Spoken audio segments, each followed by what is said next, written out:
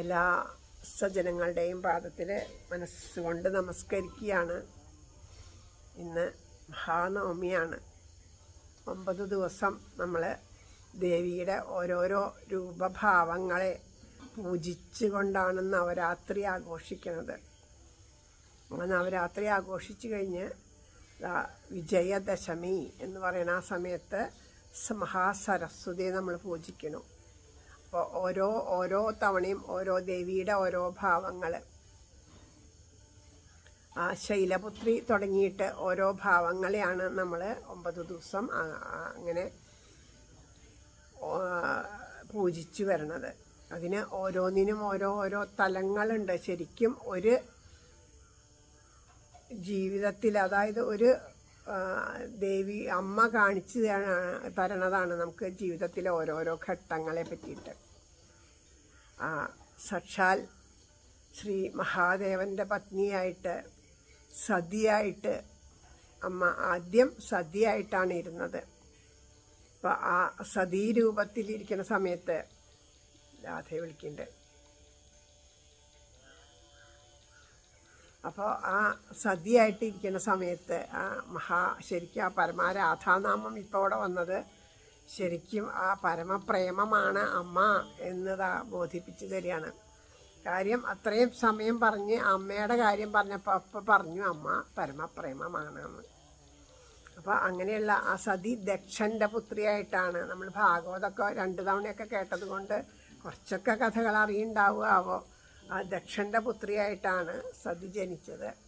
അപ്പോൾ ദക്ഷന് കുറച്ച് താൻ ആ ദക്ഷ പ്രജാപതിയാണ് എന്നുള്ള ഒരു അഹംഭാവം നിമിത്തം ദക്ഷൻ മഹാദേവനെ നിന്ദിക്കാനായിട്ട് ഇടവന്നു. കാണുന്നില്ലേ മുഖം? ദക്ഷൻ നിന്ദിക്കാനായിട്ട് ഇടവന്നു. അപ്പോൾ മഹാദേവനെ നിന്ദിച്ചു. ഏതൊരു മഹാദേവനാണോ മംഗളസ്വരൂപനായിട്ടിരിക്കുന്നത്? എപ്പോഴും ശിവം എന്ന് വെച്ചാൽ മംഗളം എന്നാണ് അർത്ഥം.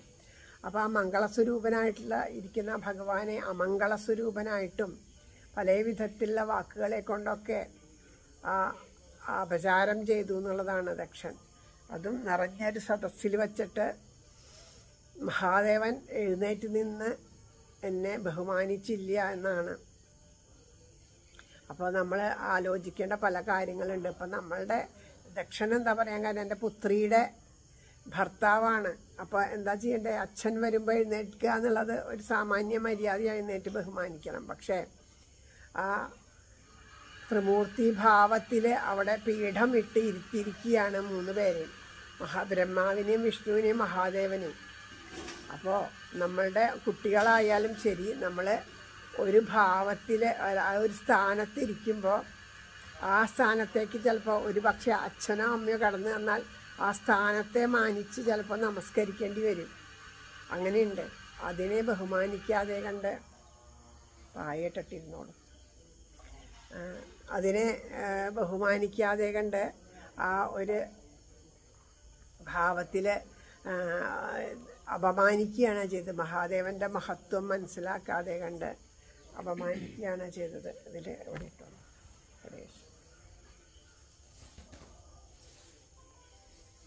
നാരായണ.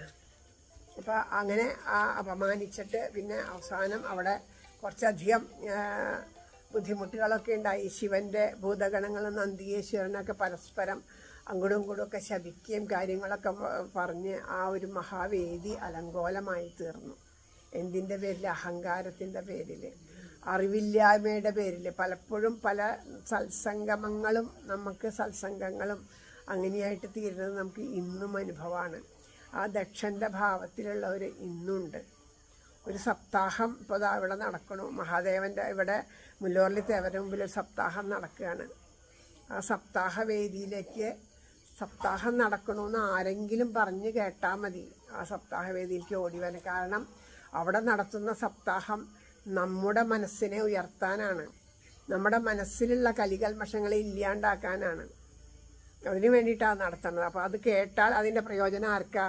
നമുക്കാണ് അല്ലേ? അപ്പോൾ വേണ്ടതുപോലെ എന്നെ ക്ഷണിച്ചില്ല ക്ഷണമില്ലാത്തയിടത്തേക്ക് ഞാൻ വരില്ല എന്ന് പറഞ്ഞാലോ ഓരോ ഗൃഹത്തിൽ വച്ചിട്ട് പോലും സപ്താഹങ്ങൾ നടത്തും.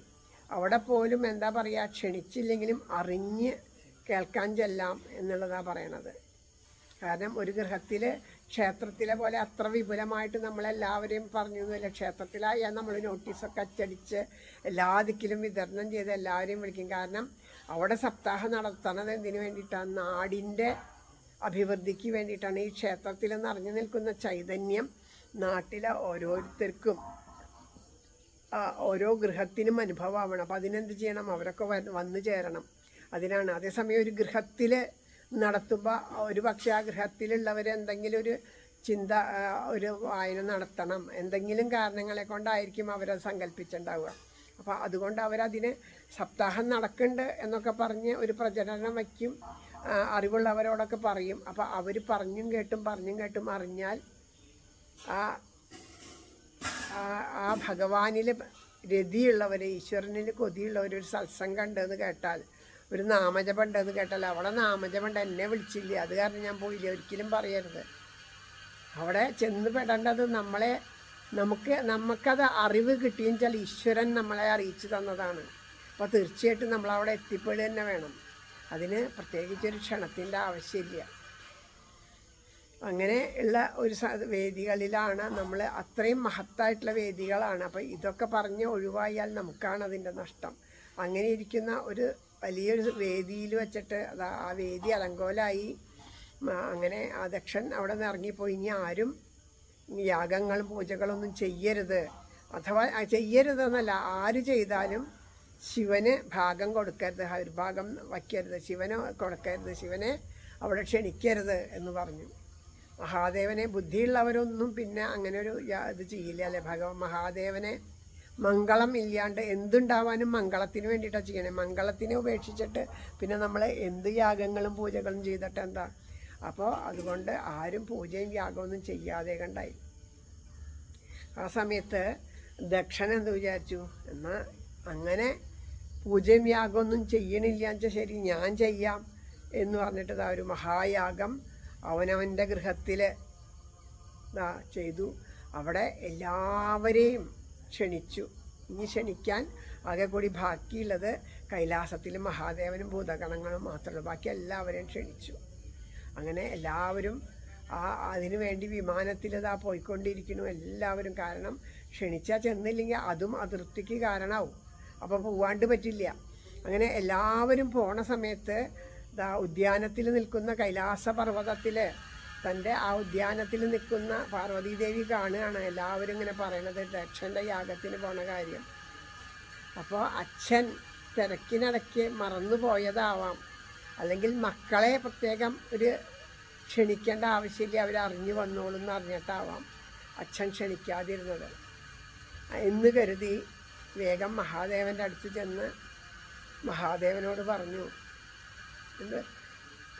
എന്റെ അച്ഛൻ അവിടെ ഒരു യാഗം നടത്തുന്നുണ്ടെന്നല്ല പറഞ്ഞ് അങ്ങയുടെ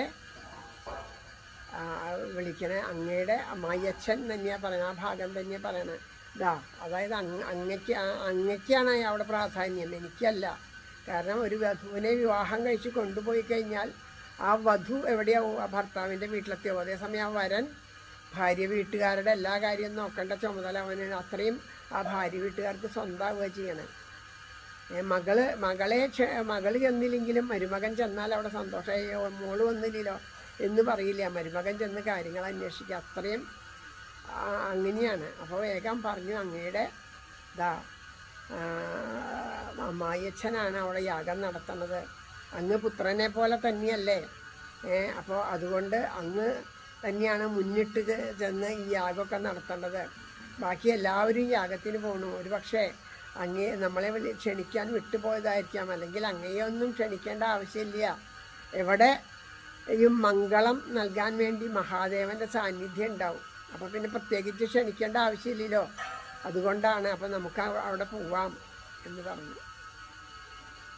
അങ്ങനെ പറയുമ്പോൾ മഹാദേവൻ പറയും അവിടെ പോണത് ഉചിതല്ല. കാരണം എന്താണെന്ന് വിചാരിച്ചാൽ അപ്പോൾ അതുവരെയും മഹാദേവൻ ഇങ്ങനെ ഒരു സംഗതി ഉണ്ടായത് ആ ദേവിയോട് പറഞ്ഞിട്ടില്ല. ആരും പറഞ്ഞ് ദേവി അറിഞ്ഞിട്ടുമില്ല.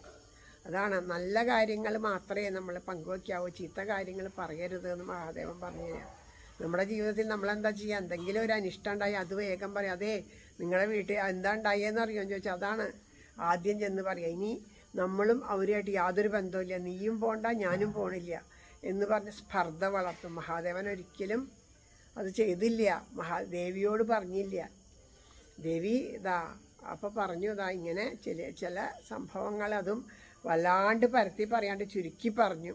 ഇങ്ങനെ കുറച്ച് അനിഷ്ടങ്ങൾ ഉണ്ടായിട്ടുണ്ട് അതുകൊണ്ടാണ് അച്ഛൻ വിളിക്കാതിരുന്നത്. അപ്പോൾ അതുകൊണ്ട് സാധാരണഗതിയിലാണെങ്കിൽ വിളിച്ചില്ലെങ്കിലും നമ്മൾ പോകേണ്ടതാണ് ഇതിപ്പോൾ ഇങ്ങനെ അച്ഛന്റെ മനസ്സിലൊരു വിഷമമുള്ളതുകൊണ്ട് ഒരു പക്ഷേ നമ്മളവിടെ ചെന്നാൽ നമ്മളെ നമ്മളെ അപമാനിച്ചു എന്ന് വരാം നിന്ദിച്ചു എന്ന് വരാം. അത് എന്നെ പ്ര- സംബന്ധിച്ചിടത്തോളം എനിക്ക് യാതൊരു ബുദ്ധിമുട്ടുമില്ല കാരണം എന്താ?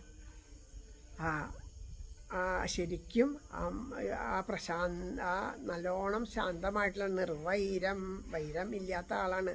ശാന്തവിഗ്രഹം ആ നിർവൈരനായിട്ട് ശാന്തവിഗ്രഹനായിട്ട് അവിടെ ആ യജ്ഞവേദിയിൽ ഇത്രയും കോലാഹലം ഉണ്ടായിട്ടും പുഞ്ചിരിയോടുകൂടി ഇരുന്നതല്ലാണ്ട് മഹാദേവന് യാതൊരു കുഴപ്പമുണ്ടായില്ല മഹാദേവന്റെ മറ്റുള്ളവർക്കാണ് അത് പ്രശ്നം ഉണ്ടായേ. രണ്ട് വിഭാഗങ്ങളായിട്ട് തിരിഞ്ഞിട്ട്. അപ്പോൾ അതുകൊണ്ട് പറഞ്ഞാൽ എനിക്ക് പ്രശ്നമില്ല. പക്ഷേ നിനക്ക് സങ്കടാവും. നീയെ ശോഭനേ എന്ന് വിളിച്ചിട്ടാ പറയണേ. ശോഭനെ വെച്ചാൽ അശുഭത്തെ ശുഭത്തെ കാക്ഷിക്കുന്നവളാണ് നീയെ. അശുഭമായിട്ട് എന്തെങ്കിലും ഉണ്ടായാൽ നിനക്കത് ദുഃഖാവും. അതുകൊണ്ട് അവിടെ പോവാതിരിക്കുക വേദം എന്ന് പറയുന്നു. പക്ഷേ ആ മമത്വം ആ മമത മമതാബന്ധം ത്തിന്റെ വലിപ്പം കൊണ്ട് അച്ഛന്റെ അടുത്തേക്ക് പോകണം അച്ഛന്റെ അടുത്തേക്ക് പോകണം. എന്റെ അച്ഛനാണ് എന്നുള്ള മമത്വം കൊണ്ട് ആ മഹാദേവന്റെ വാക്കുകളെ നിരസിച്ചുകൊണ്ട് ദേവി പോവാൻ തയ്യാറായി. ആ ദേവി പോവാൻ തയ്യാറാവുന്ന സമയത്ത് എന്താ? കുറച്ചങ്ങോട്ട് നടക്കും. ആ വാതിൽ വരച്ച് ഞാൻ എന്തായാലും പോവും. അങ്ങ് വരുണ്ടെങ്കിൽ വന്നാൽ മതി ഇല്ലെങ്കിൽ വേണ്ട. എന്റെ അച്ഛന്റെ ഇതിന് ഞാൻ പോവും. ഞാനെങ്കിലും ചെന്ന് നമ്മുടെ എല്ലാവരുടെയും വീട്ടിലുണ്ടാവുന്ന കാര്യമാണ് അതല്ലേ? ഞാനെങ്കിലും ചെന്നില്ലെങ്കിലേ നിങ്ങൾ വരുന്നില്ലെങ്കിൽ വേണ്ട ഞാൻ പോവും എന്ന് പറയാറില്ലേ അതുപോലെ? അങ്ങനെ അണിഞ്ഞൊരുങ്ങി പോയി പടി വരെ എത്തുമ്പോൾ അല്ല ഒന്നും കൂടെ വിളിച്ചു നോക്കാം. വന്നാലായില്ലോ? തിരിച്ചു വന്ന്. അല്ല വരുന്നുണ്ടോ ഞാൻ അവസാന വാക്കായിട്ട് ചോദിക്കുക പോവാം നമുക്ക് ഒരുമിച്ച് പോവാം. വരും. അപ്പോൾ അപ്പോഴും മിണ്ടാണ്ടിരിക്കും. മിണ്ടാണ്ടിരുന്നാൽ പിന്നെ ഒന്നുമില്ല. നമ്മളുടെ ശരിക്കും ഓരോ ഗൃഹത്തിലും നടക്കുന്ന കാര്യങ്ങളാണ് ഇവിടെ. അതേപോലെ തന്നെ ആ കാരണം ജഗതപ്പിതരോ വന്ദേ പാർവതി പരമേശ്വര. ആ ഭാര്യാഭർത്താക്കന്മാർ ജഗൽപതിയായിട്ടിരിക്കുന്ന ഭഗവാനാണ്. അപ്പോൾ ആ ഭഗവാൻ ഒരു ഗൃഹസ്ഥ ആ ഗൃഹത്തിൽ നടക്കുന്ന കാര്യങ്ങൾ അങ്ങനെ തന്നെ കാണിച്ചു തരിക അങ്ങനെ പലവട്ടം വന്ന് പലവട്ടം പോയി അങ്ങനെ നിന്നിട്ട് അവസാനം ക്ഷമ നശിച്ചിട്ട് തന്നെത്താൻ പോവാനായിട്ട് ഇറങ്ങി പോവുകയാണ് ഇറങ്ങി പോണ സമയത്ത് ഭഗവാൻ ദാ ആ നന്ദികേശ്വരനോടും ഭൂതഗണങ്ങളോടൊക്കെ കണ്ണുകൊണ്ട് ആജ്ഞ നടക്കും കൂടെ ചെല്ലാൻ. ഭഗവാൻ എന്തുകൊണ്ടാണ് അവിടെ ദേവിയെ തടയാഞ്ഞതെന്ന് വെച്ചാൽ ദേവിയുടെ കർമ്മപ്രാരാബ്ധം അനുസരിച്ചിട്ട് ആ ശരീരം വിട്ടുപോകേണ്ട സമയമായി. അപ്പോൾ തടഞ്ഞ് ഇവിടെ നിർത്തിയെന്ന് വിചാരിച്ചാൽ ആ ശരീരം പോണ സമയത്ത് ആരെ സ്മരിക്കുക എന്റെ അച്ഛൻ എന്റെ അച്ഛൻ എന്റെ അച്ഛൻ എന്ന് വിചാരിച്ച് മരിച്ചാൽ അത് വീണ്ടും ജനന മരണങ്ങൾക്ക് കാരണമാവും. അത് സൽഗതിക്ക് കാരണമാവില്ല. അതേസമയം അവിടെ ചെന്നാൽ ആരെയും ചിന്തിച്ചിട്ടാ? ഭഗവാനെ ചിന്തിച്ചിട്ടാണ് മരിക്കുക. ആ ശരീരം വിടുമ്പോൾ ഭഗവാനോട് തന്നെ ചേരാനാണ് വിധി. അപ്പോൾ അതുകൊണ്ടാണ് ഒന്നും മിണ്ടാഞ്ഞത്. കൂടതാ നന്ദികേശ്വരനെയും ഭൂതഗണങ്ങളെയൊക്കെ പറഞ്ഞു വെച്ചു അങ്ങനെ ആ അമ്മ നന്ദികേശ്വരൻ ഇതാ തയ്യാറായി നിന്നെങ്കിലും അമ്മയുടെ ആ ഒരു ചില സമയത്ത് ആ മമത മമത കൊണ്ടാണ് നമുക്ക് എപ്പോഴുമാണ് രാഗം കൊണ്ടാണ് ദ്വേഷം ഉണ്ടാവുക ദേഷം കൊണ്ടാണ് കോപം ഉണ്ടാവുക. ആ കോപം ആ സമയത്ത് അമ്മയ്ക്കും കോപം വന്നു. കോപം വന്നിട്ട് അമ്മ നന്ദികേശ്വരന്റെ പുറത്തൊന്നും കയറിയിട്ടല്ല നടന്നു പോവുകയാണ്. അത് നടക്കുമ്പോൾ ഓരോ അടിയും വയ്ക്കണത് ആ ദേഷ്യം കൊണ്ട് നടക്കുമ്പോൾ ചവിട്ടി പോവുക എന്ന് പറയണില്ലേ? അങ്ങനെയാണ് അമ്മ നടന്നു പോണേ. അപ്പോൾ ആ മനോഹരമായി അലങ്കരിച്ച് കെട്ടിവെച്ച മുടിയൊക്കെ അഴിഞ്ഞ് ഉലർന്ന് വീണു.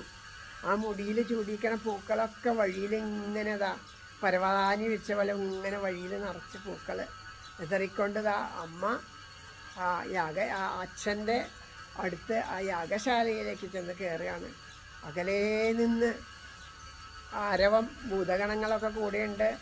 അമ്മ നടന്നു വരുന്നതിന്റെ ഒരു ആ അതെ അത് അങ്ങനെ ഒരു നടത്തണ്ടല്ലോ. സങ്കടം കൊണ്ടും ദേഷ്യം കൊണ്ടുമാണ് അങ്ങനെ നടക്കണത്. ആ അപ്പോൾ അത് അതിന്റെ ഒരു ചലനം ദക്ഷനെ കാണാൻ മനസ്സിലാക്കാറായപ്പോൾ ദക്ഷൻ ഇങ്ങനെ നോക്കി. അപ്പോൾ കണ്ടു ആ- ദക്ഷപുത്രിയുടെ ആ വരവ് കണ്ടു. സതീദേവിയുടെ വരവ് കണ്ടു. വരവ് കണ്ടിട്ടും അച്ഛനെ അകലേന്ന് അമ്മ അച്ഛനും കണ്ടു മകളും കണ്ടു പരസ്പരം. പക്ഷേ അവിടെ എത്തിക്കഴിഞ്ഞപ്പോൾ അച്ഛൻ കണ്ട ഭാവം നടിക്കാണ്ട് തിരക്ക് നടിച്ച് നടന്നു. അപ്പം നോക്കി അമ്മയുടെ മുഖത്തേക്ക്. അമ്മ അച്ഛന്റെ ആജ്ഞയ്ക്ക് വേണ്ടി പേടിച്ച് നിൽക്കുക. അച്ഛൻ പറഞ്ഞതനുസരിക്കാണ്ട് ചെന്ന് സ്വീകരിച്ചാൽ അച്ഛന്റെ സ്വഭാവം അറിയാം. പെട്ടെന്ന് ക്ഷിപ്രകോപിയാണ്. എന്ത് വേണമെങ്കിലും ചെയ്യാം. അതുകൊണ്ട് അച്ഛ അമ്മ ഭയപ്പെട്ട് നിൽക്കണു. അമ്മയുടെ കൂടെ സഹോദരിമാരും ഭയപ്പെട്ട് കൂടെ അടുത്തേക്ക് വരാണ്ട് നിൽക്കണം. അപ്പം ഇതൊക്കെ കണ്ടപ്പോഴും സതിക്ക് മനസ്സിലായി. അമ്മയും സഹോദരിമാരും വരാത്തതിന് തെറ്റില്ല. കാരണം അച്ഛനെ ഭയപ്പെട്ടിട്ടാണ് അവർക്കൊന്നും ചെയ്യാൻ പറ്റില്ല. അച്ഛൻ എന്റെ അച്ഛനല്ലേ ഇത്തിരി പിണക്കവും സങ്കടമൊക്കെ ഉണ്ടെങ്കിൽ ഞാൻ മകളാണ്.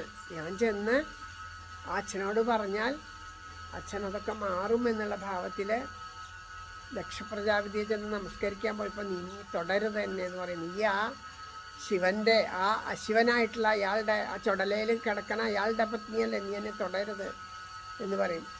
സതിക്ക് മഹാദേവനെ വിവാഹം കഴിക്കുന്ന സതിയുടെ ആഗ്രഹം കൊണ്ട് വിവാഹം കഴിച്ചത് അത്ര. അപ്പോഴും ദക്ഷന് അത്രയ്ക്ക് സന്തോഷം ഉണ്ടായിരുന്നില്ല വിവാഹം കഴിച്ചു കൊടുക്കാൻ? അപ്പോൾ അങ്ങനെ പറഞ്ഞ് ആ വീണ്ടും ശിവനിന്ദ ധാരാളം പറഞ്ഞു. അത് കേട്ടപ്പോഴാണ് സതിക്ക് മനസ്സിലായത്. തന്റെ ഭർത്താവ് പറഞ്ഞത് ശരിയാണ്. താനിവിടെ അപമാനിക്കപ്പെട്ടു എന്നുള്ളതൊക്കെ സങ്കടം കൊണ്ട്. പിന്നെ സഹിക്കാൻ പറ്റാണ്ട് വന്നത് മുഴുവനും ശിവനെപ്പറ്റി പറഞ്ഞ നിന്ദാവാചകങ്ങളാണ്. എല്ലാവർക്കും മംഗളം നൽകിക്കൊണ്ടിരിക്കുന്ന ശിവനെ പറ്റിയിട്ട് എല്ലാവരും വന്ദിക്കുന്ന ശിവനെ പറ്റിയിട്ട് ഇത്രയും നിന്ദിച്ച് അച്ഛൻ പറഞ്ഞു. അപ്പോൾ അച്ഛനോട് പറഞ്ഞു ഞാൻ അദ്ദേഹം എന്നോട് പറഞ്ഞ വാക്ക് കേൾക്കാണ്ടാണ് അച്ഛ ഞാനിങ്ങോട്ട് തിരിച്ചു പോകുന്നത് ഇങ്ങോട്ട് വന്നത്. ഇനി എനിക്ക് തിരിച്ചു പോകാൻ സാധിക്കില്ല. തിരിച്ച് അവിടെ മഹാദേവന്റെ അടുത്തേക്ക് പോകാൻ സാധിക്കില്ല. കാരണം എന്താ? എന്നെ സ്വീകരിക്കാഞ്ഞിട്ടല്ല. മഹാദേവൻ എന്നെ സ്വീകരിക്കും. ഞാൻ ചെയ്ത എല്ലാ തെറ്റും അദ്ദേഹം പൊറുക്കും.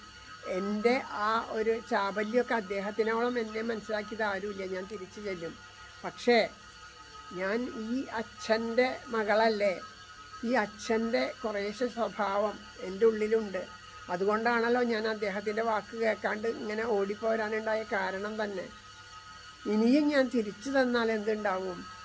അവിടെ ചെന്ന് ഞാൻ ഇതുപോലെ അച്ഛന്റെ ആ സ്വഭാവം എപ്പോഴെങ്കിലും പ്രകടമാക്കിയാൽ അദ്ദേഹം എന്നെ ദാക്ഷായണി എന്ന് വിളിക്കും. നീ ആ ദക്ഷന്റെ പുത്രിയല്ലേ എത്രയായാലും എന്നുള്ള ഭാവത്തിൽ. ആ ഒരു വിളി എനിക്ക് സഹിക്കാൻ പറ്റില്ല. അതുകൊണ്ട് ഞാനിനി തിരിച്ചു പോകണില്ല എനിക്ക് ഇവിടെ നിൽക്കാനും സാധിക്കില്ല. ശിവനിന്ദ ഉള്ളോടത്തുനിന്ന് ഒന്നിനോ ശിവനിന്ദ പറയുന്ന ആളുടെ നാവ് പിഴുതെറിയണം. അല്ലെങ്കിൽ അത് കേട്ടവർ സ്വയം ഇല്ലാണ്ടാവണം. അപ്പം എനിക്ക് നാവ് പിഴുതെറിയാൻ പറ്റില്ല എന്റെ അച്ഛനല്ല. അതുകൊണ്ട് ഞാൻ എന്റെ പാതിപത്യത്തിന്റെയും തപസ്സിന്റെയും ശക്തി കൊണ്ട് അഗ്നിയെ ജ്വലിപ്പിച്ച് ആ അഗ്നിയിലെ സ്വയം വെന്തരിയാണ് സതി. ഇതെല്ലാം കൂടെ വന്ന ഭൂതഗണങ്ങളെല്ലാം കണ്ട് അവർ ഇതാ കോപത്തോട് കൂടിയിട്ട് ആ യജ്ഞവേദിയൊക്കെ മലിനാക്കി. അവിടെ ഇതാ ആ ഹോമകുണ്ടത്തിലൊക്കെയൊക്കെ വല്ലാണ്ട് ആ മലവും മൂത്രമൊക്കെ വിസർജിച്ച് അതിനൊക്കെ അശുദ്ധമാക്കി അവിടുന്ന് ആ ദക്ഷന്റെ അവിടുന്ന് ഇതാ പോന്ന് ഇവിടെ വന്ന് മഹാദേവനോട് കാര്യം പറഞ്ഞപ്പോൾ മഹാദേവന്റെ ആ ക്രോധത്തിൽ നിന്നുണ്ടായതാണ്. ആ ക്രോധത്തിൽ നിന്നുണ്ടായ ആ ഒരു വീരഭദ്രസ്വാമി. വീരഭദ്രസ്വാമി ചെന്നിട്ട് ദക്ഷന്റെ തലയൊക്കെ പിഴുത് എറിഞ്ഞു. അങ്ങനെ ഒരു കോലാഹലമായിട്ട് ആ ഒരു ദക്ഷന്റെ ആ ഒരു യാഗരംഗം പകുതിക്ക് വെച്ച് നിന്നുപോയി. അങ്ങനെ ഇരിക്കുന്ന സമയത്ത് അവിടെ ആരൊക്കെയാണോ ഈ ദക്ഷൻ ഈശ്വരനിന്ദ ചെയ്യണ സമയത്ത് അതായത് നമ്മളതിലൊന്നും പങ്കെടുക്കണില്ല. നമ്മളിപ്പോൾ നമ്മൾ ഈശ്വരനെ നിന്ദിക്കണില്ല. പക്ഷേ ഏതെങ്കിലും ഒരാൾ എവിടെങ്കിലും ഇരുന്ന് ഈശ്വരനിന്ദ പറയുമ്പോൾ നമ്മളൊന്ന് കേട്ട് ചിരിച്ചു എന്നുണ്ടെങ്കിൽ അതുപോലും പാപാണെന്നാണ് പറയുന്നത് അങ്ങനെ ചിരിച്ചവന്റെ പല്ലൊക്കെ തല്ലി കൊഴിച്ചു. ചിലർ അത് ആസ്വദിച്ചിങ്ങനെ താടി ഒഴിഞ്ഞിരുന്ന ഭൃഗുമാഷിയുടെ താടി പറിച്ച് കളഞ്ഞു പിന്നീട് ആടിന്റെ താടിയൊക്കെ വെച്ച് കൊടുത്തു എന്നാണ് പറയണേ. പൂഷാവിനോട് പറഞ്ഞ ആരെങ്കിലുമൊക്കെ ചവച്ച് തരും അത് കഴിച്ചോളാനാണ് പറഞ്ഞേക്കണേ. സ്വന്തമായിട്ട് പല്ലൊക്കെ പോയി. അങ്ങനെയുള്ള എല്ലാവർക്കും ശിവനിന്ദം ചെയ്ത എല്ലാവർക്കും അതിന്റെ ശിക്ഷ കിട്ടി. അവസാനം ആ മഹാദേവൻ എന്നെ ഇതാ സ്വ സമാധാനിപ്പിച്ച് കൊണ്ടുവന്ന് ഇതിനൊരു പരിഹാരം കാണണം എന്ന് വിചാരിച്ച് എല്ലാവരും കൂടിയിട്ട് കൈലാസത്തിലേക്ക് ചെല്ലുമ്പോൾ മഹാദേവന് യാതൊരു ക്രോധവും ഇല്ല. കാരണം ഇന്നതൊക്കെ സംഭവിക്കണം. അതൊക്കെ ഭഗവാൻ അറിയാം. മഹാദേവൻ ആ കൈലാസത്തിലിരുന്ന് മൗനം കൊണ്ട് ഉപദേശം നൽകിയിട്ട് ദക്ഷിണാമൂർത്തിയുടെ ഭാവത്തിലിരിക്കുകയായിരുന്നു. അങ്ങനെ ആ ദക്ഷിണാമൂർത്തി സ്വരൂപനായിട്ടുള്ള ഭഗവാനെ ഇതാ നമസ്കരിച്ച് എല്ലാവരും കൂടി കൂട്ടിക്കൊണ്ട് വന്ന് ദക്ഷന് ആടിന്റെ തല വച്ചു കൊടുത്തു എന്നാണ് പറയണത് അങ്ങനെ ആദ്യം കാണുന്ന മൃഗത്തിന്റെ തല എന്നുള്ള നിലയ്ക്ക് അങ്ങനെ ഇതാ അങ്ങനെ പിന്നെയുള്ള ആ ഒരു ശേഷജീവിതം മുഴുവൻ അദ്ദേഹം ഭഗവാനെ ഭഗവാന്റെ നാമം ജപിച്ച് കഴിച്ചു കൂട്ടി അങ്ങനെയൊക്കെ ആ, യാഗഭൂമിയിൽ വീണ്ടും വേണ്ടതുപോലെ യാഗം പൂർത്തിയാക്കി എന്നെല്ലാം പറയുന്നു. അത് തന്നെയാണ് നമ്മളെല്ലാവരും കൊട്ടിയൂർ തൊഴാൻ പോകുന്നത് കൊട്ടിയൂരായിരുന്നു. അവിടെയാണ് ആ യാഗം നടന്ന സ്ഥലം എന്നൊക്കെ മഹാത്മാക്കൾ അനുസ്മരിക്കുന്നുണ്ട്. അന്ന് പൂർത്തിയാവാക്ക അന്നത്തെ ആ യാഗത്തിന്റെ സ്മരണയ്ക്കാണ് ഇന്നും അവിടെ ആ കൊട്ടിയൂരുള്ള ഉത്സവം എന്നൊക്കെ പറയണു അങ്ങനെ ആ സതിയുടെ ജന്മം കഴിഞ്ഞിട്ട് പിന്നീട് പിന്നീട് എന്താണ്ടായി വീണ്ടും ആ സതി ഭഗവാനെ ചിന്തിച്ച് മരിച്ച കാരണം കൊണ്ട് ദാ ഹിമവാന്റെ പുത്രിയായിട്ട് ജനിച്ചു. ഹിമവാന്റെ പുത്രിയായിട്ട് ഹൈമവതി ആ പാർവതിയായിട്ട് ജനിച്ചു. അങ്ങനെ ആ ജനിച്ചു കഴിഞ്ഞപ്പോൾ ആ ജനിച്ച ആ സമ പൂർവജന്മത്തിലുള്ള ആ ഇഷ്ടം കൊണ്ട് മഹാദേവനെ ഒരുപാട് ഇഷ്ടമായിരുന്നു അങ്ങനെ ആ മഹാദേവനെ തന്നെ വിവാഹം കഴിക്കണമെന്ന് അഞ്ചു വയസ്സിൽ തൊട്ടിട്ട് ആ കുട്ടി ആഗ്രഹിച്ചു തുടങ്ങി എന്നാണ് പറയണത് ഇങ്ങനെ ആ മഹാദേവനെ അപ്പോഴാണ് ആ മഹാദേവൻ കൈലാസ പർവത്തിൽ വന്നിരുന്ന് തപസ്സനുഷ്ഠിക്കുന്നുണ്ട് എന്ന് പാർവതി കേൾക്കാനിടയായത്. ഇങ്ങനെ അച്ഛനോടൊക്കെ അമ്മ അമ്മ അമ്മ അനുവാദം കൊടുത്തില്ല. അച്ഛനോട് അനുവാദം വാങ്ങി അവിടെ ചെന്ന് തപസ്സിരിക്കുന്നു. ആ തപസ് ആദ്യം പൂജ ചെയ്യും. ഭഗവാനെ പൂജ ചെയ്യുകയാണ് ചെയ്യുക. അവിടെ ചെന്ന് ഭഗവാന് വേണ്ടതൊക്കെ ഒരുക്കി കൊടുക്കുക പുഷ്പങ്ങൾ ഒരുക്കി കൊടുക്കുക. അദ്ദേഹത്തിന്റെ ആ ഈശ്വര ധ്യാനത്തിന് വേണ്ടതൊക്കെ ഒരുക്കി കൊടുക്കുക എന്നും കണ്ണു തുറക്കുന്ന സമയത്ത് അദ്ദേഹത്തിന് വേണ്ട കാര്യങ്ങളൊക്കെ ചെയ്തു കൊടുക്കുക. അങ്ങനെ ആ ഭഗവാന് സേവ ചെയ്തുകൊണ്ട്. എന്താ വേണ്ടേ അമ്മേ?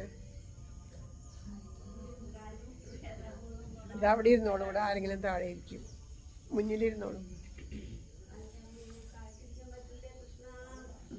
അപ്പം അങ്ങനെ ആ ഭഗവാന്റെ ഭഗവാന് പൂജ ചെയ്തുകൊണ്ടിരിക്കുന്ന സമയത്താണ് ഈ ശിവൻ ഇനി വിവാഹം കഴിക്കണില്ല. സത്യമിട്ട കാര്യമാണ് ശിവൻ ഇനി വിവാഹം കഴിക്കണില്ല എന്ന്.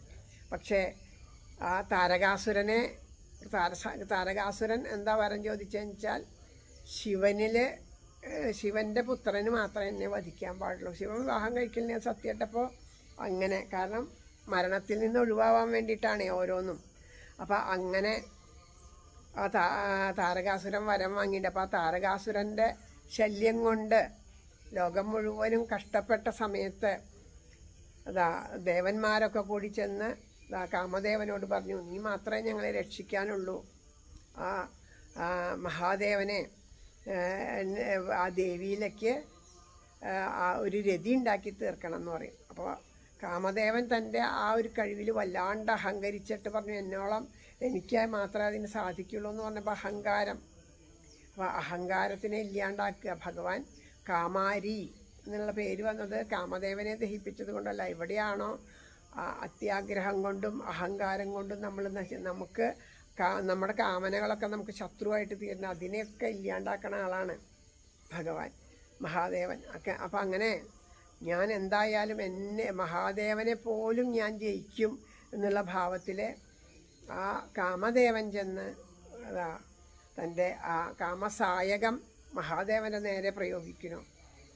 ആ തപസ് ചെയ്യുന്ന ഭഗവാൻ ഒന്ന് കണ്ണു തുറന്ന് ഒന്ന് നോക്കി ആരെ പാർവതി. അത്രയേ ഉണ്ടായുള്ളൂ. അത്രയ്ക്കേ പറ്റിയുള്ളൂ. അതിലപ്പുറം ഒരു ഭാവം ഉണർത്താനൊന്നും ആ സായകത്തിന് പറ്റിയില്ല.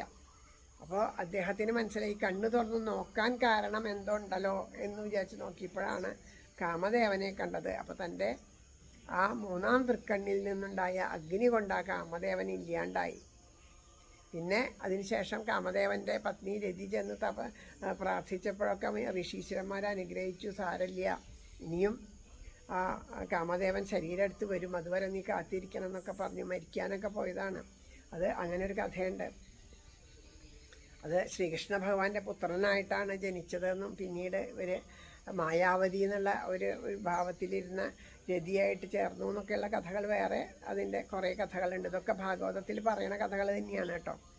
അപ്പം അങ്ങനെ നോക്കി കഴിഞ്ഞിട്ട് പിന്നെ ആ ക്രോധാഗ്നിയിൽ കാമദേവൻ ദഹിക്കണ കണ്ടപ്പോൾ ഹിമവാൻ വന്നിട്ട് തന്റെ മകളെയും കൊണ്ടുപോയി. ഇത് പറഞ്ഞു മതി ഇനി സാഹസം വേണ്ട. ആ മഹാദേവനെ സത്യം ചെയ്ത് മഹാദേവന് ദൃഢ അത്രയും സ്ഥാണുവാണ് മഹാ അതിനെ ഇനി ആ ഒരു മഹാദേവന്റെ ആ ദൃഢതയെ വിലംഘനം ചെയ്യാൻ ആർക്കും സാധിക്കില്ല. നിന്നെ കൊണ്ടാവില്ല. നിന്നെ മഹാദേവൻ വാഹം കഴിക്കില്ല എന്ന് പറഞ്ഞു. അപ്പോൾ ആ ദേവിയുടെ ആ പ്രേമത്തിന്റെ ശക്തി ഞാൻ മഹാദേവനെ അല്ലാണ്ട് വേറെ ആരെയും വിവാഹം കഴിക്കില്ല. ദേവനെ അത് ഇവിടെയുള്ള ശക്തി. കാരണം മഹാദേവനിൽ നിന്ന് പോന്നവളാണ്. അപ്പോൾ ദേവി എന്തുകൊണ്ടാണ് ഇങ്ങനെ അനുഭവിക്കേണ്ടി വന്നതെന്ന് വെച്ചാൽ അന്ന് ഈശ്വരന്റെ വാക്ക് കേൾക്കാണ്ടാ പോയത്.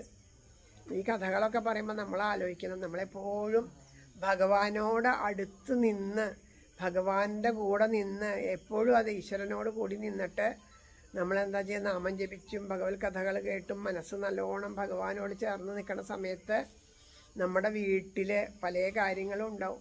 വീട്ടിലെ കാര്യങ്ങൾ ഭർത്താവിന്റെ കാര്യങ്ങൾ മക്കളുടെ കാര്യങ്ങൾ അച്ഛന്റെ കാര്യങ്ങൾ അമ്മയുടെ കാര്യങ്ങൾ എന്നൊക്കെ പറഞ്ഞ് നമ്മൾ എന്നും നാമജപത്തിന് വരണു എന്നും സത്സംഗത്തിനും അങ്ങനെ ഇരുന്നിട്ട് കുറേ കഴിയുമ്പോൾ കുറേ പേരെ കാണാണ്ടാവും.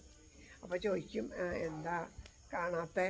എന്ന് ചോദിക്കും പറയേ അങ്ങനെയാണ്. വീട്ടിലുള്ള പ്രാരാബ്ധങ്ങൾ പണ്ടുണ്ടായ അതേ പ്രാരാബ്ധം തന്നെ ഇപ്പോഴും ഉള്ളൂ കൂടുതലൊന്നുമില്ല എന്നാലും നമ്മൾ അത് പറഞ്ഞിട്ട് ഭഗവാനിൽ നിന്ന് അകന്നു നിൽക്കണു അങ്ങനെ കുറച്ച് കുറച്ച് കാലം നമ്മൾ അകന്നു നിന്നാൽ എന്താ ഉണ്ടാവുക വെച്ചാൽ നമുക്ക് ഈ നാമം ജപിക്കാനുള്ള കഥകൾ കേൾക്കാനുള്ള കൊതി കുറഞ്ഞു കുറഞ്ഞു വരും. പണ്ടത്തെ അത്ര തീവ്രത ഉണ്ടാവില്ല അപ്പോൾ കേൾക്കാനുള്ള അവസരങ്ങൾ നമുക്ക് നഷ്ടപ്പെടും. ഇതൊക്കെയാണ് അതിന്റെ ഒരു കാരണം. അതന്നെ അവിടെ കാണിച്ചു തരുന്നത്. സതീദേവി ആ ഭഗവാനെ വിട്ടു പോയപ്പോൾ ആ സതീദേവിക്ക് എന്തുണ്ടായേ ആ ദുഃഖം മാത്രമേ ഉണ്ടായുള്ളൂ. അപ്പോൾ ആ ചെയ്ത തെറ്റിന് പ്രായശ്ചിത്തം ചെയ്യുക എന്നുള്ളതാണ്. അപ്പം എന്തുകൊണ്ടും ഞാനായിട്ടാണ് വിട്ടുപോയത് ഞാനായിട്ട് തന്നെ ഭഗവാനെ സ്വീകരിക്കും എന്ന് ആ പാർവതിയുടെ ഉറപ്പ്. പാർവതി തന്റെ ചുറ്റിലും തീ കൂട്ടിയിട്ട് കഴിഞ്ഞ ദിവസം ആരോ ചോദിച്ചു പഞ്ചാഗ്നി മദ്യത്തിൽ തപസ് ചെയ്യാന്ന് വെച്ചാൽ എന്താ പാട്ടിലൊക്കെ കേട്ടിട്ടുണ്ട്. പഞ്ചാഗ്നി അതെന്താ വെച്ചാൽ ചുറ്റിലും തീയ് നല്ലോണം തീ അങ്ങോട്ട് കൂട്ടിയിട്ട് ചുറ്റും ജ്വലിപ്പിക്കും. എന്നിട്ട് അതിന്റെ നടുക്കിരിക്കും നട്ടുച്ച നേരത്ത് നല്ല പൊള്ളുന്ന വെയിലത്ത്. അപ്പോൾ മുകളിൽ ചൂട് ചുറ്റും അങ്ങനെ അഞ്ച് തരത്തിലുള്ള അഞ്ച് ഭാഗത്തുനിന്നും ചൂടാണ്. നാല് ഭാഗത്തും ചൂ തീ കൂട്ടിയിട്ട് മുകളിൽ നിന്നും അങ്ങനെ ആ പഞ്ചാഗ്നി മധ്യത്തിലിരുന്ന് തപസ് ചെയ്യാണ്. കൊടും ചൂടിലിരുന്ന് തപസ് ചെയ്യണം. അങ്ങനെ തപസ് ചെയ്യുമ്പോൾ മഹാദേവൻ തന്നെ വരും. ഒരു വൃദ്ധന്റെ വേഷത്തിൽ വരും. ഒരു തപസ് സന്യാസിയുടെ വേഷത്തിൽ എന്നിട്ട് ചോദിക്കും എന്താ എന്തിനാ അങ്ങനെ തപസ് ചെയ്യണേ? എന്തൊരു മനോഹരമായ ശരീരമാണ് ഇതിനെ ഇങ്ങനെ നശിപ്പിച്ച് കളയേണ്ട കാര്യമുണ്ടോ? എന്തൊരു സുന്ദരിയാണ്. എന്തിനാ തപസ് ചെയ്യണേ? എന്ന് ചോദിക്കും. അപ്പോൾ പറയും ശിവനെ ഭർത്താവായിട്ട് കിട്ടാനാണെന്ന്. അപ്പോൾ നിനക്ക് നിനക്കെന്താ തലയ്ക്ക് നല്ല സുഖമല്ലേ അയാ ശിവനെ ഭർത്താവായിട്ട് കിട്ടാന്ന് വെച്ചാൽ ഇതുപോലെ ഒരാളോ ആ ചുടല ഭക്ഷണമൊക്കെ പൂശി അവിടെ ചുടലയിൽ നൃത്തം വെച്ച് അങ്ങനെ പാമ്പിനെ കഴുത്തിലിട്ട് ഇങ്ങനെയൊക്കെ നടക്കണേ ആ ഒരു ആളെയാണോ നിനക്ക് വിവാഹം കഴിക്കേണ്ടത് എന്നൊക്കെ ചോദിച്ച് കുറേ പറഞ്ഞു നോക്കും. അപ്പോൾ ദേവി പറയും ഞാൻ എന്റെ തപസ്സിന് ഭംഗമുണ്ടാക്കിക്കൊണ്ട് ആരാണ് ഇവിടെ ഇങ്ങനെ പറയണത്? അവർ ആരായാലും ഞാൻ ചെയ്ത തപസ്സിന്റെ ശക്തി കൊണ്ട് അവരിതാ ഇല്ലാണ്ടാവും. പിന്നെയും ഞാൻ തപസ് എന്നിട്ട് അപ്പോൾ തപശക്തി കഴിഞ്ഞാൽ പിന്നെയും തപസ് ചെയ്ത് ഞാൻ നേടി. എന്തു വന്നാലും ശ്രീ പരമേശ്വരനെ തന്നെ വിവാഹം കഴിക്കും എന്ന് ദാ ദൃഢത. അത്രയും ആ ഒരു ഭക്തിഭാവം കണ്ടപ്പോൾ ആ മഹാദേവൻ മുന്നിൽ പ്രത്യക്ഷനായി. എന്നിട്ട് ആ പാർവതിയെ തന്നോട് ചേർത്തിട്ട് അങ്ങനെയാണ് ആ പാർവതി. അപ്പോൾ അതിന്റെ ഓരോ ഘട്ടങ്ങളാണ് ശൈലപുത്രിയായിട്ട് ആദ്യം ആദ്യം ആ സേവ ചെയ്യണ ഭാവം പിന്നെ പൂജ ചെയ്യണ ഭാവം. അത് കഴിഞ്ഞ് കഴിഞ്ഞാൽ പിന്നെ ആ- ആ പൂജ ചെയ്ത് ഭഗവാനോട് ചേർന്നാൽ അനുഗ്രഹിച്ചിട്ട് സിദ്ധിമാതിയായിട്ടുള്ള ഭാവം സ്കന്ധമാതിയായിട്ട് ഓരോ ഭാവവും ഈ ഒരു ജീവന്റെ ശരിക്കും ഒരു ജീവന്റെ ആ ഒരു വളർച്ചയാണ് കാണുന്നത്. ആ ഉള്ളിലെ ആ പരമപ്രേമം നിറഞ്ഞ സ്കന്ധമാത എന്ന് വെച്ചിട്ടുണ്ടെങ്കിൽ ആ സ്കന്ദൻ സ്കന്ധം എന്നുള്ള വാക്കിന് തന്നെ അർത്ഥം ഭക്തന്മാർ വെണ്ണ പോലെ ഭക്തിയിൽ വെണ്ണ പോലെ അലിയ എന്നുള്ളതാണ് ആ സ്കന്ദൻ എന്നുള്ള വാക്കിന് അർത്ഥം. മഹാദേവ ശ്രീ ഭഗവാനും ഉണ്ട് സ്കന്ദൻ എന്നുള്ള വാക്കിന് മഹാവിഷ്ണുവിന്.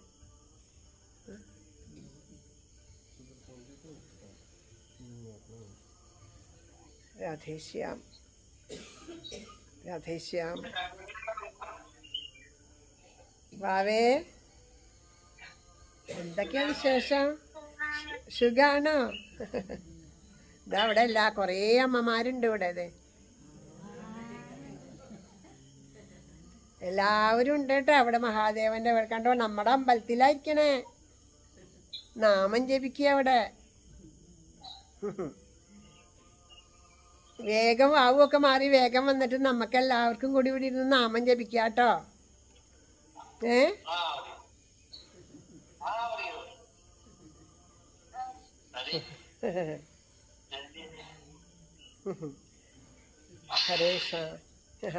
അപ്പൊ എന്നാ നാമജപാണ് അവിടെ. സത്സംഗം നടന്നുകൊണ്ടിരിക്കുക ആ. ശരി. ശരി. സന്തോഷം. ആ ഹരി ആ ശരി ശരി. ആ ആയിക്കോട്ടെ. വേഗം നന്നാവട്ടെ. ഞങ്ങൾ എല്ലാവരും നാമം ജപിക്കണ്ടേ? ഇവിടെ എല്ലാവരും ഉണ്ട്.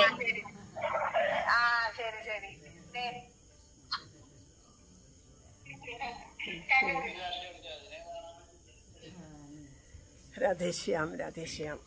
അപ്പൊ അതും ഒരു സന്തോഷം. അപ്പൊ നമ്മൾ പറഞ്ഞു വന്നത് അങ്ങനെ ഓരോ ദിവസവും ആ സ്കന്ദന്റെ കാര്യമാണ് പറയുന്നത്. പരമപ്രേമഭാവം പ്രേമം സ്കന്ദൻ എന്ന വാക്കിന് നമ്മൾ വിഷ്ണു സഹസ്രാമത്തിലുണ്ടല്ലേ സ്കന്ദ സ്കന്ദതരോ ദുര്യോ വരതോ ആ സ്കന്ദൻ എന്നുള്ള വാക്കുണ്ട്. സ്കന്ദൻ എന്ന് വെച്ചാൽ ആരാണോ? ഭക്തിയിൽ ഭക്തി ഭക്തന്മാരുടെ അടുത്ത് ഏത് ഭാവമാണെന്ന് അറിയോ? സ്കന്ദന് വെണ്ണ പോലെ അലിഞ്ഞ് തന്നെ തന്നെ സമർപ്പിക്കുന്ന ആ ഉരുകിപ്പോകുന്ന ഭാവമാണ് സ്കന്ദൻ അതേസമയം ദുഷ്ടന്മാരിൽ അത് ദുഷ്ടനിഗ്രഹത്തിന് വേണ്ടിയിട്ട് നിൽക്കുന്ന ഭാവമാണ് സ്കന്ദൻ അപ്പോൾ ആ സ്കന്ദന്റെ അമ്മ എന്ന് പറയണു ആ ഭാവത്തിൽ ഇരിക്കണു എന്ന് പറഞ്ഞാൽ ആ ഭക്തന്മാർക്കൊക്കെ ആ ഭക്തിയെ പ്രദാനം ചെയ്യുന്നവളായിട്ട് ഇരിക്കുന്ന ഓരോരോ അമ്മയുടെ ഓരോ ഭാവങ്ങളെയാണ് നവരാത്രിയിൽ ഓരോരോ ദിവസവും നമ്മളിങ്ങനെ പൂജിച്ചു കൊണ്ടിരിക്കുന്നത് അങ്ങനെ ആ നവരാത്രി ആ അത് കഴിഞ്ഞ് കഴിഞ്ഞാൽ നവമിയുടെ അന്ന് നമ്മൾ എല്ലാവരും ശരിക്കും പറയാം ആയുധ പൂജ. അന്ന് ആയുധ പൂജ എന്ന് പറയുക സാധാരണ ഇപ്പോൾ ആയുധ പൂജ എന്ന് പറഞ്ഞാൽ കൃഷിക്കാർക്കാണ് ആയുധ പൂജ. ബാക്കിയുള്ളവർക്കൊന്നുമല്ല കൃഷിക്കാർക്കൊക്കെ ആയുധ പൂജ എന്ന് വെച്ചാൽ അന്ന് ഒരു ദിവസം മാത്രം. ആ കൃഷി കാരണം കൃഷി ചെയ്യാതെ കണ്ട് കർഷകർക്ക് ജീവിക്കാൻ സാധിക്കില്ല. അവരുടെ ആ- ഒരു കർമ്മം അങ്ങനെയാണ്. ആ കർമ്മത്തിനെ ഉപേക്ഷിക്കാൻ പറ്റില്ല. അവർക്ക് അതുകൊണ്ടാണ് ഉപജീവനം നടക്കുന്നത്. അപ്പോൾ ഒരു ദിവസം ആ എല്ലാ പണിയായുധങ്ങളും ആ ഭഗവതിയുടെ മുമ്പിൽ കാരണം കൃഷി ചെയ്യണമെങ്കിൽ നമുക്ക് എന്ത് വേണം? ആയുസ്സും ആരോഗ്യവും എല്ലാം വേണം അല്ലേ? അപ്പോൾ അത് സമ എല്ലാം അന്ന് ഒരു ദിവസം ജോലി ചെയ്യാതിരിക്കുക എന്നുള്ളതാണ് ആയുധ പൂജയ്ക്ക് പറയുന്നത്. എന്നിട്ട് അന്നത്തെ ഒരു ദിവസം ചെയ്യാതിരുന്നിട്ട് കാര്യമില്ല. സിനിമ കണ്ടിട്ടും പാട്ട് കേട്ടിട്ടും കാര്യമില്ല. അന്നത്തെ ഒരു ദിവസം എന്ത് ചെയ്യണം? അമ്മയുടെ മുമ്പിലിരുന്ന് നാമം ജപിക്കണം. എന്തിനു വേണ്ടിയിട്ട്? ആ ഇനിയും ഒരു വർഷത്തേക്ക് ഉള്ള ഒരു ആ ഇനിയുള്ള ആ നമ്മുടെ കൃഷിയൊന്നും നശിക്കാണ്ട് വേണ്ടതുപോലെ ആ മഴയും വെയിലും കാര്യങ്ങൾ ആ പ്രകൃതി രൂപി പ്രകൃതി രൂപിണിയാണല്ലോ മൂലപ്രകൃതി രൂപിണി കൂടി അമ്മ. അപ്പം ആ പ്രകൃതിക്ഷോഭങ്ങളൊന്നും ഇല്ലാണ്ട് അതുപോലെ ഓരോരോ ഓരോ ഘട്ടത്തിലും മഴ വേണ്ടവർക്ക് മഴ വെയിൽ വേണ്ടവർക്ക് വെയിൽ അതൊക്കെ വേണം. അങ്ങനെയുള്ള എല്ലാം വേണ്ടതുപോലെയായിട്ട് കൃഷിയെ വേണ്ടതുപോലെ ഞങ്ങൾക്ക് ആ സംരക്ഷണം നൽകണം എന്ന് അമ്മയോട് പ്രാർത്ഥിച്ചുകൊണ്ട് കർഷകർ അവരുടെ എല്ലാ ആയുധങ്ങളെയും വെച്ച് ഒരു ദിവസം മുഴുവൻ ദേവി ഉപാസനയ്ക്ക് ഇരിക്കുക. നമ്മൾ എന്നും ഭക്ഷണം കഴിക്കണ ആൾക്കാർ ഏകാദശിയുടെ ഒന്നും കഴിക്കാണ്ട് ഉപവാസം ചെയ്യുക എന്ന് പറയും. അതെന്താണെന്ന് വെച്ചാൽ അത് ശരീരത്തിന് ചെയ്യുന്നൊരു ചികിത്സയെന്നാണ് പറയണത് ഭക്ഷണം ഉപേക്ഷിച്ച് ഒരു ദിവസം അത് ശുദ്ധമാക്കി ഇടുക എന്നുള്ളത് ഒരു ഉപാസനയാണ് അത്. അതുപോലെ തന്നെയാണ് ഇത്. അതേസമയം ഇപ്പോൾ പാടാൻ അറിയുന്നവരെ നൃത്തം ചെയ്യാൻ അറിയുന്നവരെ ഓരോ വാദ്യോപകരണങ്ങൾ വായിക്കാൻ അറിയുന്നവരൊക്കെ എന്ത് ചെയ്യണം? അന്നേ ദിവസം ആ തനിക്ക് ഏതൊരു കഴിവാണോ തന്നിരിക്കുന്നത് അതാണ് സമർപ്പിക്കേണ്ടത്. അല്ലാണ്ട് നമ്മുടെ ചിലങ്ക കൊണ്ട് പണി അവിടെ പൂജിക്കുക അതല്ല ചിലങ്കയൊന്നുമല്ല ഭഗവാന് സമർപ്പിക്കുക ചെയ്യുക. അപ്പം ഈ കൃഷിക്കാരൊക്കെ എന്താ ചെയ്യുക? അതുപോലെ കൃഷിയിലുണ്ടായ എന്തെങ്കിലും കാര്യങ്ങളോ ദ്രവ്യങ്ങളായിട്ടോ അല്ലെങ്കിൽ അപ്പം ഉണ്ടാവുന്ന കാർഷിക ഫലങ്ങളൊക്കെ കൊണ്ട് ദേവിക്ക് സമർപ്പിച്ചിട്ടാണ് പ്രാർത്ഥിക്കുക.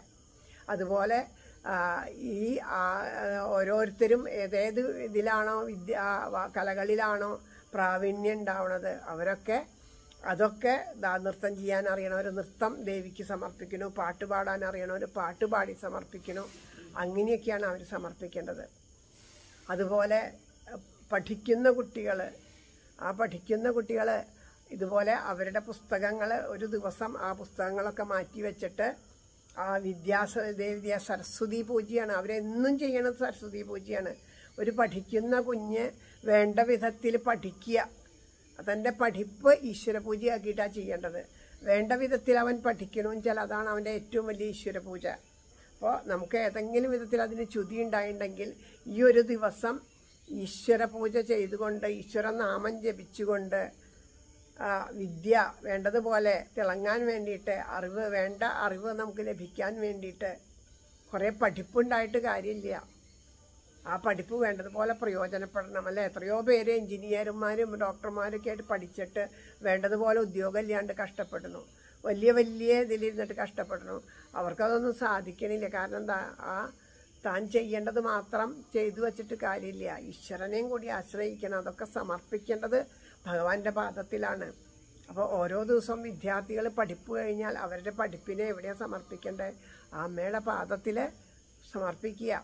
ആ സമർപ്പിച്ചിട്ട് മാതൃരൂപേണയാണ് അവിടെ ഭാവത്തിൽ ആ സർവപ്രപഞ്ചത്തിലും ആ പ്രേമസ്വരൂപയായിട്ടാണ് അമ്മ നിൽക്കണത് ആ പ്രേമത്തിന്റെ ആ പ്രേമസ്വരൂപയുടെ മുമ്പിൽ സമർപ്പിച്ചിട്ട് പ്രാർത്ഥിക്കുക വേണ്ടതുപോലെ അല്ലെ? ജ്ഞാനസ്വരൂപിണി സരസ്വതി സുസ്മിതേ ഞാൻ വന്ദിച്ചിടുന്നു തവ പാദതലത്തിൽ നിത്യം. എന്നും മുകുന്ദ ചരിതാമൃതമുച്ചരിക്കാൻ എണ്ണാവിലെപ്പോഴും അധീശ്വരി വാണിടേണം. ഇതൊക്കെ ഈ ഒരു പ്രാർത്ഥന നമ്മൾ അമ്മമാരെ പ്രാർത്ഥിക്കേണ്ടത് കാരണം നമുക്ക് വേറെ പ്രത്യേകിച്ച് പറയേണ്ട ജോലികളില്ല ഗൃഹധർമ്മങ്ങളല്ലാണ്ട്. അപ്പോൾ ആ ഗൃഹധർമ്മം വേണ്ടതുപോലെ ആവണമെങ്കിൽ എന്ത് വേണം? ആ ഈശ്വര ശ്രീകൃഷ്ണ പാദാംബുജത്തിൽ പൂജ ചെയ്യുക വേണ്ടത്. അപ്പം എന്നും മുടങ്ങാണ്ട് നാമം ജപിക്കാനായിട്ട് സാധിക്കണം. നമ്മൾ അതിനാണ് പ്രാർത്ഥിക്കേണ്ടത്. നമ്മൾ ഓരോരുത്തരും മഹാനവമിയുടെ അന്ന് ഇപ്പം നമ്മളിവിടെ ഒരു മണിക്കൂറല്ല വന്നിരിക്കേണ്ടത്. ശരിക്കും രാവിലെ തൊട്ട് വൈകുന്നേരം വരെ ഇവിടെ ഇരുന്ന് ഈശ്വരനാമങ്ങൾ ജപിച്ച് കീർത്തനങ്ങൾ അറിയാവുന്നവർ കീർത്തനങ്ങൾ പാടുക നാമം ജപിക്കുക. അങ്ങനെ ഇന്നത്തെ ഒരു ദിവസം മുഴുവനും അതിന് ആ ഇപ്പൊ കേട്ടോ അപ്പം ഇന്നത്തെ ഒരു ദിവസം മുഴുവനും അതിനു വേണ്ടിയിട്ട് നമ്മൾ ചെലവഴിക്കുകയാണ് വേണ്ടത്. അപ്പം അങ്ങനെ നാമം ജപിച്ച് നാമം ജപിച്ച് നാമം ജപിച്ച് ആ നാമത്തിൽ നമ്മുടെ മനസ്സ് അതിനാണ് മഹാനവമി എന്ന് പറഞ്ഞാൽ. ആ മഹാനവമി കഴിഞ്ഞിട്ട് ഇതാ പിന്നെ വിജയദശമി എന്ന് പറയുന്നു. നമ്മൾ ആ പ്രാർത്ഥിച്ച് കഴിഞ്ഞിട്ട് പിന്നെ അടുത്ത ദിവസം മുതൽ ഓരോരുത്തർക്കും അവരവരുടെ കർമ്മങ്ങൾ എങ്ങനെയാണോ ആ കർമ്മങ്ങൾക്ക് അനുസരിച്ചിട്ട് നമ്മൾ ഓരോരുത്തരും നമ്മുടെ കർമ്മങ്ങൾ ചെയ്തുകൊണ്ടിരിക്കുക. പഠിക്കുന്ന കുട്ടികളാണെങ്കിൽ അവർ ആദ്യമേ തന്നെ അക്ഷരം മണലിൽ എഴുതുക. കാരണം ആദ്യം നമ്മൾ അക്ഷരം എഴുതിയിട്ടല്ലേ തുടങ്ങിയത്? അന്ന് അതുപോലെ അക്ഷരം എഴുതി തുടങ്ങുക. അക്ഷരം എഴുതിയിട്ട് നമ്മൾ ആദ്യമേ തന്നെ അങ്ങനെ അക്ഷരം എഴുതി തുടങ്ങുക. അങ്ങനെ കുട്ടികൾ അങ്ങനെ എഴുതി തുടങ്ങുന്നു. അപ്പം നമ്മളെല്ലാവരും ആ മണലിൽ എഴുതണത് ആദ്യാക്ഷരം കുറിച്ചതുപോലെ തന്നെ പിന്നീട് ഇതാ വീണ്ടും പുതിയതായിട്ട് നമ്മുടെ ഇത് ചെയ്യണു എന്നുള്ള ഭാവത്തിലാണ് അതൊക്കെ ചെയ്യേണ്ടത്. അങ്ങനെ ആ സരസ്വതി പൂജ ചെയ്ത് ഓരോരുത്തരും പുരാണ പാരായണം. നാളെയൊക്കെ ധാരാളം രാമായണം മേടിച്ചു വെച്ചവരൊക്കെ ആ രാമായണം എല്ലാവരും നാളെ വായിക്കണം. രാമായണം ആരൊക്കെയാണോ കയ്യിൽ വാങ്ങി വെച്ചേക്കണം അവരൊക്കെ നാളെ രാമായണം വായിക്കണം. അതുപോലെ ഭാഗവതം കയ്യിലുള്ളവർ ഭാഗവതം വായിക്കുക. ഓരോരോ ഗ്രന്ഥങ്ങൾ നാരായണീയ ആവട്ടെ ഭഗവത്ഗീത ആവട്ടെ ഓരോരുത്തരൊക്കെ ഓരോന്ന് പഠിക്കണ്ടേ. അതൊക്കെ അവരവർ വായിക്കുക ചെയ്യണ്ടേ നാളത്തെ ഒരു ദിവസം അങ്ങനെ നാമം ജപിക്കുക സത്സംഗത്തിലിരിക്കുക.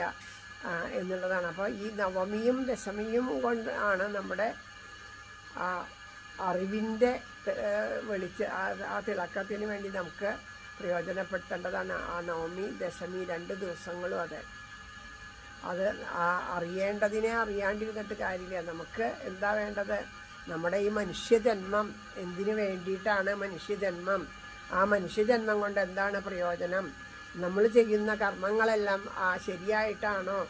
ആ കർമ്മങ്ങൾക്ക് ഫലം കിട്ടാത്തത് എന്തുകൊണ്ടാണ്? വിചാരിച്ചതുപോലെ ആ കർമ്മങ്ങൾക്ക് ചുതി വരുന്നത് എന്തുകൊണ്ടാണ്?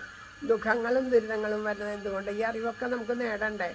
അത് ഈ മനുഷ്യജന്മം കൊണ്ട് മാത്രമേ നേടാൻ പറ്റുള്ളൂ. അത് സത്സംഗത്തിലാണ് ആ മനുഷ്യജന്മം കൊണ്ട് നേടുക. ആ സത്സംഗത്തിലിരുന്നിട്ട് ആ മനുഷ്യജന്മം എടുത്തിട്ട് വേണം ഇതൊക്കെ നേടാനായിട്ട്. അങ്ങനെ ആ ഏറ്റവും പ്രധാനപ്പെട്ട ആ ദിവസങ്ങൾ ഈശ്വര പൂജയോട് കൂടിയിട്ട് നാമജപത്തോട് കൂടിയിട്ട് തുടങ്ങിയാൽ പിന്നെ അതിനൊരു മുടക്കല്ലാണ്ട് നിത്യോപാസന പോലെ എന്നും നാമം ജപിക്കുകയാണ് വേണ്ടത്. എല്ലാ ദിവസവും നാമം ജപിക്കണം. നാമജപം നമ്മൾ മുടക്കാനേ പാടില്ല. അങ്ങനെ നിത്യോപാസനയായിട്ട് ചെയ്യേണ്ടതാണ് നാമജപം. അപ്പോൾ അങ്ങനെ പാരായ രാമായണമൊക്കെ വായിച്ചു തുടങ്ങി എന്നോട് ആരോ ചോദിച്ചു ഈ രാമായണം എന്നും വായിക്കാൻ പാടുമെന്ന് നമ്മളെ അവിടെ വന്നിട്ട് എന്റെ ഇന്ന് രാമായണം വാങ്ങി വാങ്ങിയപ്പോൾ ആരാന്ന് എനിക്ക് ഓർമ്മയില്ല. അപ്പോൾ എന്നും വായിക്കേണ്ട ഗ്രന്ഥമാണ് രാമായണം. എത്ര വായിക്കാൻ പറ്റുമോ അത്രയും വായിക്കുക. നമുക്ക് വെറുതെ ഇരിക്കുന്ന സമയത്തൊക്കെ ടി വി കാണണം എന്ന് തോന്നുമ്പോഴൊക്കെ ഈ രാമായണം എടുത്ത് വായിക്കുക അല്ലെങ്കിൽ ഭാഗവതം എടുത്ത് വായിക്കുക അല്ലെങ്കിൽ ഏതെങ്കിലും കീർത്തന പുസ്തകങ്ങൾ വായിക്കുക ഒന്നും വായിക്കുക അല്ലെങ്കിൽ ഹരേ രാമനാമം ജപിക്കുക. ആവശ്യമില്ലാത്തതിലേക്കൊന്നും നമ്മുടെ മനസ്സ് പോകാതെ കണ്ടിരിക്കട്ടെ എന്ന് നമുക്ക് ഭഗവാനോട് പ്രാർത്ഥിക്കാം. അതാണ് ഏറ്റവും നല്ലത്. അതിന് വേണ്ടിയിട്ടാണ് ഈശ്വര കഥകൾ ഈശ്വര നാമങ്ങളൊക്കെ അതിന് വേണ്ടിയിട്ടാണ്. ഇനി എല്ലാ ദിവസവും എല്ലാ തിരുവോണൂട്ടിനും കണ്ണന്റെ ഒരു കഥ ഇവിടെ പറയാറുള്ളതാണ്. സമയം എത്രയായി ആവോ? ഉം. അപ്പൊ അരമണിക്കൂർ കൂടി നമുക്ക് പന്ത്രണ്ട് മണി വരെയാണ് സമയം തന്നേക്കണത്. നിങ്ങൾക്കൊക്കെ ഇരിക്കണം എന്നുണ്ടെങ്കിൽ ഇത് ഇപ്പുറത്ത് പായുണ്ട് കേട്ടോ.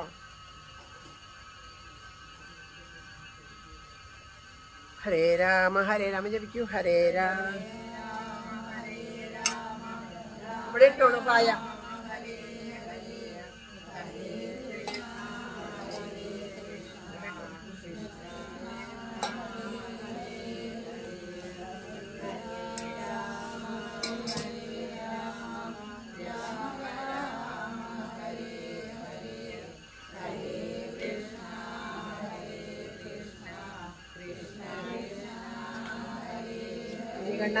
നാമം ജപിക്കൂ. ഹേ രാമ ജപിക്കൂ. രാമ ഹരേ ഹരേ ഹരേ കൃഷ്ണ.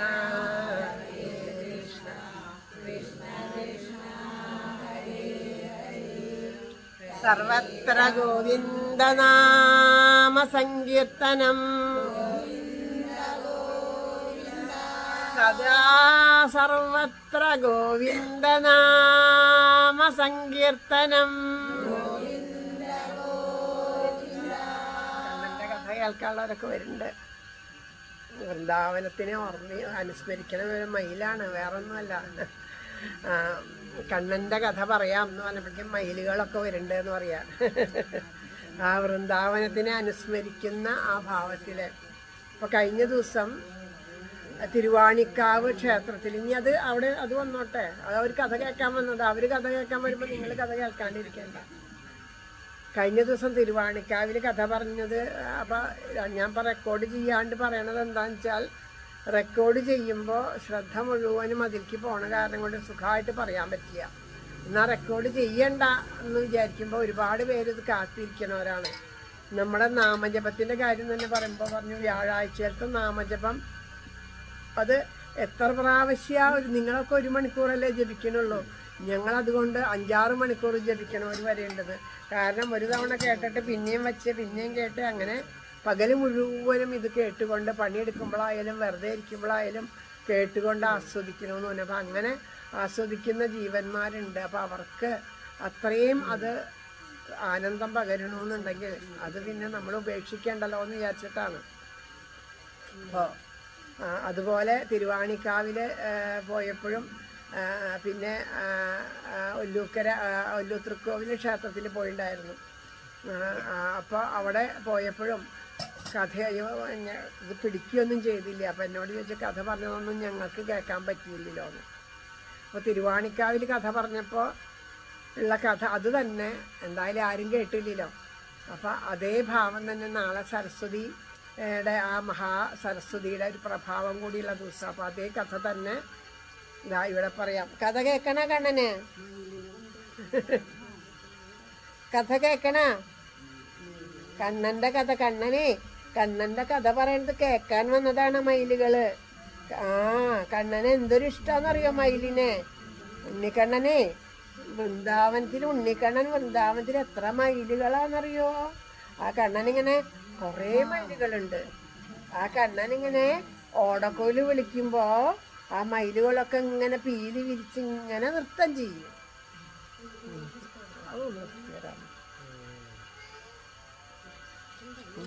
ആ- അങ്ങനെ ആ നൃത്തം ചെയ്യാം. അപ്പൊ മയിലുകളോട് ഇതാ കണ്ണന്റെ കഥ പറയാൻ പോവാന്നാണ് ഇപ്പൊ മയിലുകൾ വന്നതാണ്. ഇപ്പൊ രാധേ ഓരോ നിമിഷത്തിലും അത് കൃത്യസമയത്താണ് ആ രാധയുടെ നാമം വരുന്നത്. വൃന്ദാവനം എന്ന് പറഞ്ഞപ്പോഴും ഇതാ രാധയുടെ നാമം വന്നു. നേരത്തെ അമ്മയുടെ കാര്യം പറയാമെന്ന് പറഞ്ഞപ്പോഴും രാധാനാമം അത് അത്രയും ആ ഒരു പ്രത്യേക സമയത്താണ്. കഥ പറയുമ്പോൾ കേൾക്കണം മിണ്ടാണ്ടിരുന്നാലേ കേൾക്കുള്ളൂ മിണ്ടരുത് കേട്ടോ.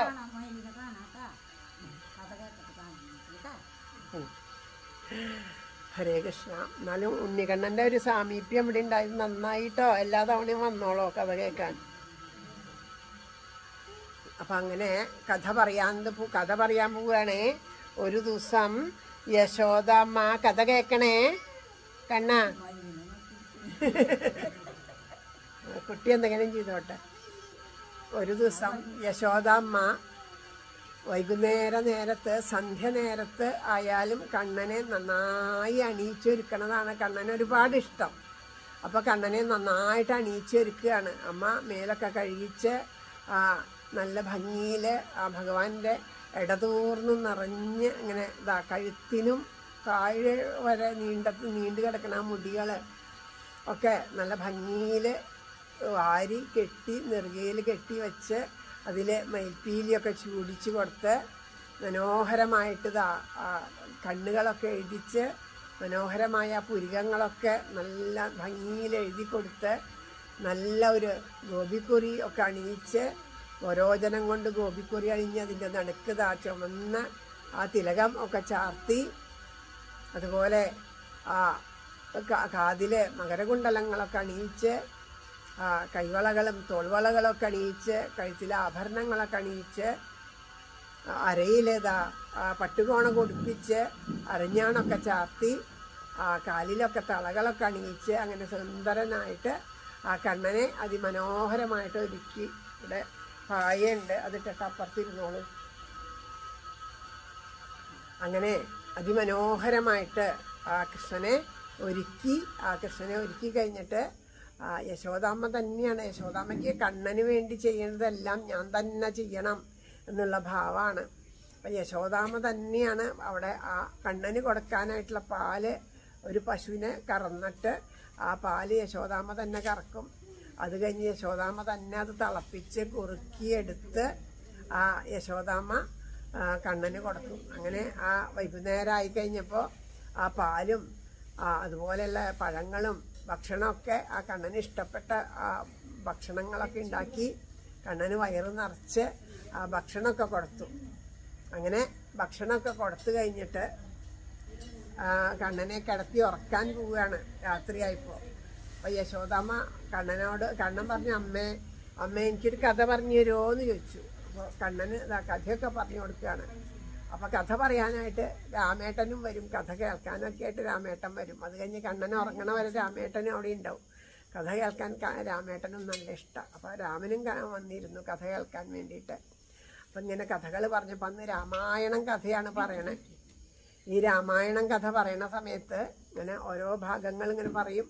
അങ്ങനെ പറഞ്ഞു കഴിഞ്ഞിട്ട് ആ ഒരു മാനിനെ കണ്ടിട്ട് സീതാദേവി ഒരു മാനിനെ കണ്ടിട്ട് ഇഷ്ടപ്പെട്ടു. എന്നുള്ള ആ ഭാഗമാണ് പറയണേ. അങ്ങനെ മാനിനെ കണ്ട് ഇഷ്ടപ്പെട്ട ആ മാനിനെ പിടിക്കാൻ രാമൻ പോയതും ആ സമയത്ത് രാവണൻ വന്നിട്ട് സീതയെ കട്ടുകൊണ്ട് പോയി എന്ന് പറയുന്ന സമയത്ത് സീതം ഹരിച്ചു ദശകന്ധരനെന്നു കെട്ടിട്ട ലോകനാഥൻ. അയ്യ ലക്ഷ്മണ എന്നുരച്ചു. എന്തു ചെയ്തു? വേഗം അപ്പോഴേക്കും അങ്ങോട്ട് ചാടി എണീറ്റ് ആ രാമന്റെ ഭാവത്തിൽ നിന്നിട്ട് ലക്ഷ്മണ എവിടെ അമ്പും ഇടുക്ക്? എന്ന് പറയാണ്. അങ്ങനെ ശരിക്കും യശോദാമ്മ പോലും ഞെട്ടിപ്പോയി ഇത്രേ. അത്രയും മനോഹരമായ ഭാവത്തിലാണ് പായിട്ടിട്ടിരുന്നോളും അത്രയും മനോഹരമായ ആ ഭാവത്തിലാണ് കഥ അമ്മ പറഞ്ഞു കൊടുക്കുന്ന കഥ അതേപോലെയാണ്.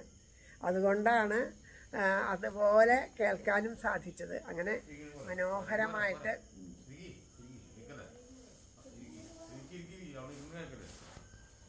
അങ്ങനെ മനോഹരമായിട്ട് ആ അത് അത് ഇരുന്നോളൂ ഇരുന്നോളൂ വർത്തമാനം പറയല്ലേ? അങ്ങനെ ആ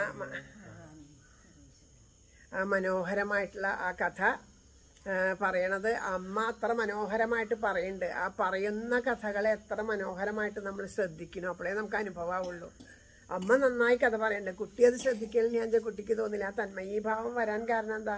പറയുന്ന കഥ വേണ്ടതുപോലെ ശ്രദ്ധിക്കണം. അപ്പോഴാണ് നമ്മുടെ ഉള്ളിലേക്ക് അത് എത്തുള്ളൂ. അതിനിടയ്ക്ക് വേറെ ഒന്നും ഉണ്ടാവരുത്. കഥയിൽ മാത്രമാണ് ശ്രദ്ധ.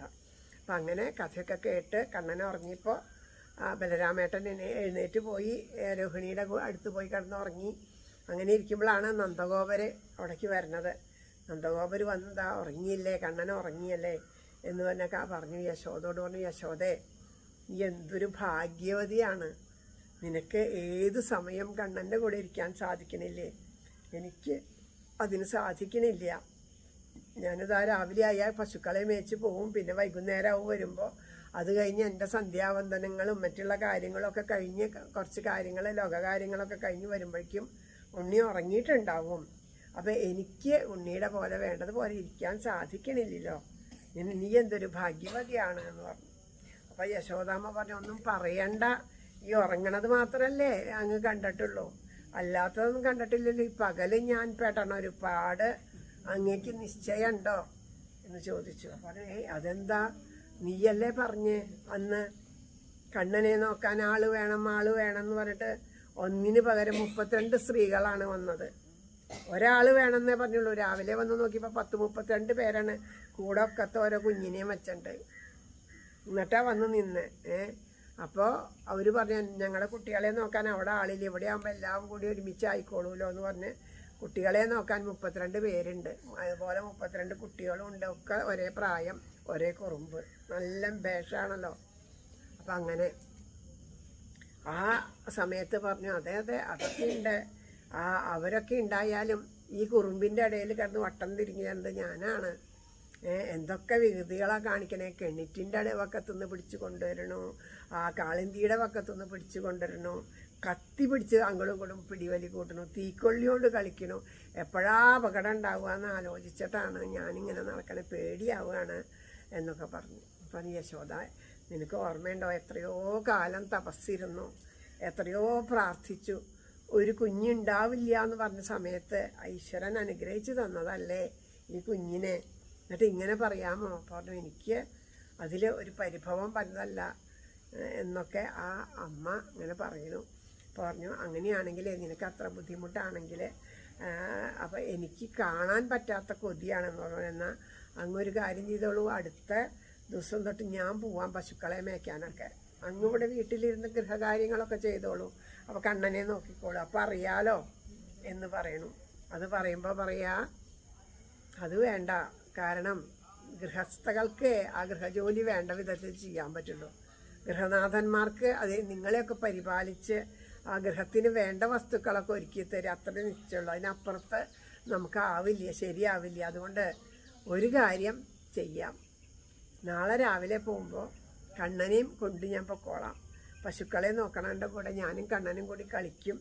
അപ്പോൾ വൈകുന്നേരം വരെ ഞങ്ങൾക്ക് രണ്ടുപേർക്കുള്ള ഭക്ഷണമൊക്കെ തന്നാൽ മതി എന്ന് പറയണു. അപ്പോൾ ആ അതിങ്ങനെ കേൾക്കുമ്പോൾ ഉറക്കത്തിലും കണ്ണൻ ഇങ്ങനെ പുഞ്ചിരിക്കുക. പുഞ്ചിരിക്കണ കണ്ടപ്പോൾ അതായ പറഞ്ഞു കണ്ണൻ ദേ ചിരിക്കണ? കണ്ടോ? നമ്മൾ നമ്മൾ പറയണ കേട്ടിട്ട് എന്നുള്ള പോലെയാണ് കണ്ണൻ ചിരിക്കണേ. എന്നാണ് യശോദാമ്മ പുഞ്ചിരിക്കുന്ന മുഖത്തൊക്കെ എന്നെ നോക്കുകയാണ് അപ്പോൾ ഈ കിടക്കുമ്പോൾ ആ കിടപ്പറയുടെ മുകളിലത്തെ നിലയിലാണ് കിടക്കണത്. അപ്പോൾ ഈ ജനാലിലൂടെ ഈ ചന്ദ്രന്റെ വെളിച്ചം വന്ന് കണ്ണന്റെ മുഖത്തേക്ക് ഇങ്ങനെ തട്ടുണ്ട്. അപ്പോൾ ആ കണ്ണന്റെ ആ ആഭരണങ്ങളൊക്കെ ഇങ്ങനെ തിളങ്ങണതിന്റെ പ്രകാശവും പല വിധത്തിലുള്ള വർണങ്ങളൊക്കെ ആ മുഖ ശരീരത്തിൽ മുഴുവനും അങ്കരാഗം പോലെ പൂശിയേക്കാന്ന് തോന്നുന്നു. അത്രയും ഒരു തിളക്കാണ്. കണ്ണന്റെ പുഞ്ചിരിക്കും കൂടിയും മനോഹരമായിട്ടുള്ള തിളക്കം. അപ്പം അതിങ്ങനെ എത്ര കണ്ടാലും മതിയാവാണ്ട് ഇങ്ങനെ യശോദ നോക്കി നോക്കി നോക്കി കൊതി തീരാഞ്ഞിങ്ങനെ നെറ്റിയിലിങ്ങനെ ഉമ്മ വയ്ക്കും. പലവട്ടം ഉമ്മ വെച്ചിട്ട് ആ നെറ്റിയിൽ തൊട്ട കുറിയൊക്കെ പകുതിയും മാഞ്ഞു പോയി അങ്ങനെ കണ്ടപ്പോൾ പറഞ്ഞു നന്ദഗോപര് പറഞ്ഞു ഉറങ്ങണ കുട്ടികളെ അങ്ങനെ കൊഞ്ചിക്കാൻ ലാളിക്കാൻ പാടില്ല. അത് ദോഷമാണ് നമുക്ക് ഉറങ്ങാം എന്ന് പറഞ്ഞതാ. രാവിലെ നേരത്തെ എണീക്കേണ്ടതാ രണ്ടു പേർക്കും. യശോദാമ്മയുടെ കാര്യം പറഞ്ഞ പോലെ എത്രയോ പേര് ജോലിക്ക് ഉണ്ട് എന്നുണ്ടെങ്കിലും യശോദാമ്മയ്ക്ക് ചില കാര്യങ്ങളൊക്കെ യശോദാമ്മയ്ക്ക് യശോദാമ്മ തന്നെ തന്നെ ചെയ്യണം. കാരണം എന്താണെന്ന് വെച്ചാൽ ഒരു പശുവിനെ കറക്കൽ കണ്ണനും രാമനും കുടിക്കാനുള്ള പാലിനുള്ള പശുവിനെ കറക്കുക യശോദാമ്മ തന്നെയാണ് ആ പശുവിനെ വൃത്തിയാക്കലും കുളിപ്പിക്കലും ആ പശുവിന്റെ കാര്യമൊക്കെ യശോദാമ്മ തന്നെയാണ് നോക്കുക. അതുപോലെ കണ്ണനുള്ള പാൽ തിളപ്പിക്കൽ യശോദാമ്മ കണ്ണന് കൊടുക്കാനുള്ള പാൽ യശോദാമ്മ തിളപ്പിക്കും. അതുപോലെ തൈര് കലക്കിയിട്ട് വെണ്ണ ഉണ്ടാക്കുക. അത് യശോദാമ്മയ്ക്ക് തന്നെ പാകത്തിന് ഉറയിച്ച് പാകത്തിന് ആ തൈര് ഉണ്ടാക്കി അങ്ങനെ ആ, അങ്ങനെ വേണം. അപ്പോൾ അങ്ങനെ ആ തൈര് കലക്കി ആ വെണ്ണ ഉണ്ടാക്കലൊക്കെ യശോദാമ്മയുടെ പണി. ആ വെണ്ണയാണ് കണ്ണന് കൊടുക്കുക. അപ്പം അങ്ങനെ ആ പണികൾ ഒറ്റയ്ക്ക് ചെയ്യണം. അതിന് കുട്ടികളെ എണീറ്റ് വന്നാൽ സമ്മതിക്കില്ല.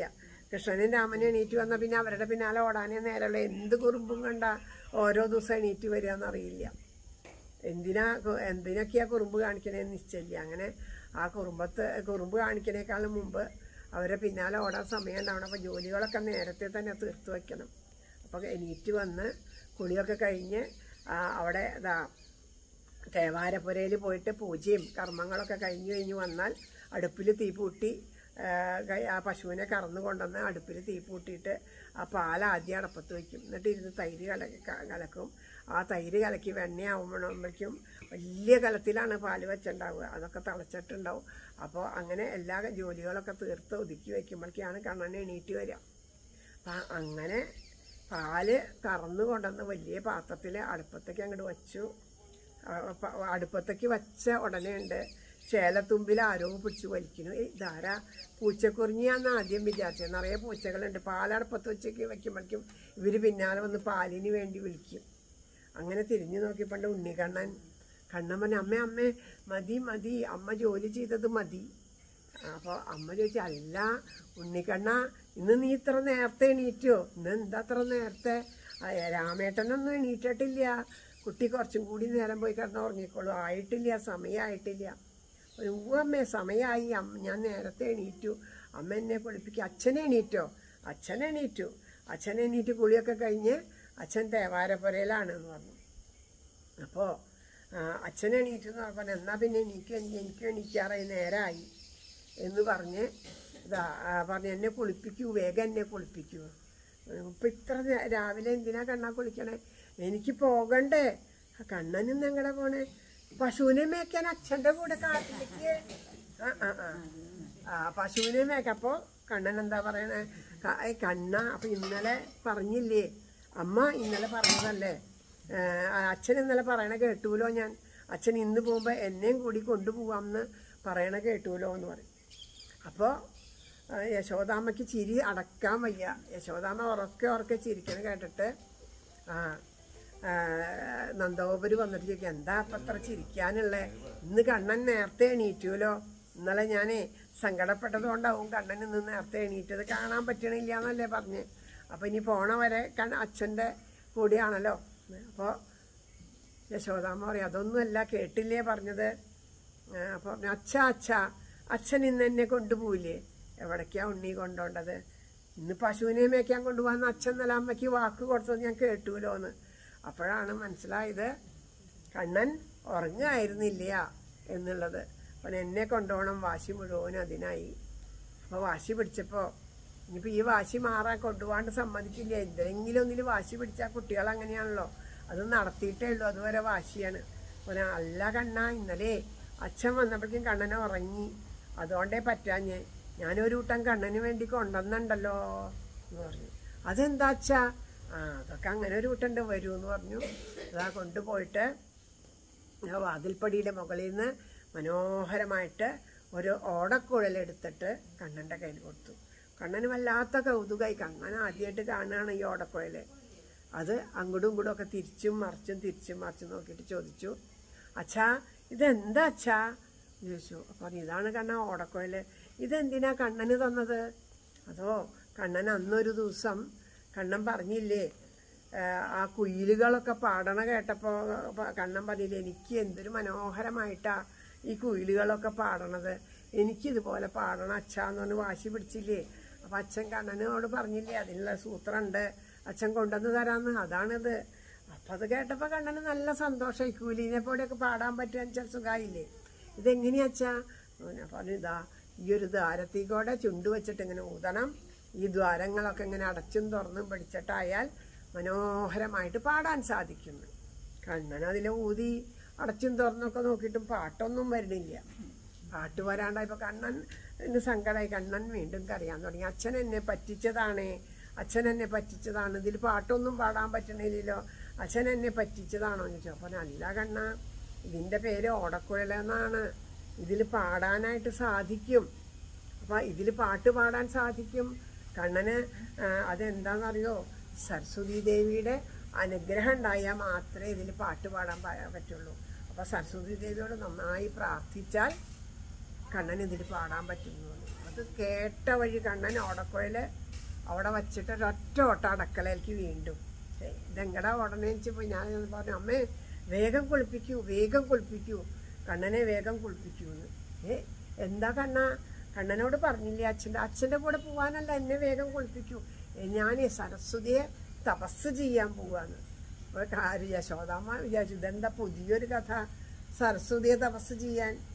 അതെ ഞാൻ സരസ്വതിയെ തപസ് ചെയ്യാൻ പോവുക എന്ന് പറഞ്ഞു. അപ്പോൾ അപ്പോഴേക്കും ഓടക്കോയിലൊക്കെ പിടിച്ച് നന്ദഗോപുരം വന്നു. അപ്പോൾ എന്താണ് കണ്ണൻ പറയണേന്ന് ചോദിച്ചപ്പോൾ കണ്ണൻ സരസ്വതിയെ തപസ് ചെയ്യാൻ പോവുക അത്രേ കണ്ണനെ വേഗം കുളിപ്പിക്കാനാണ് പറയണേന്ന് പറഞ്ഞു.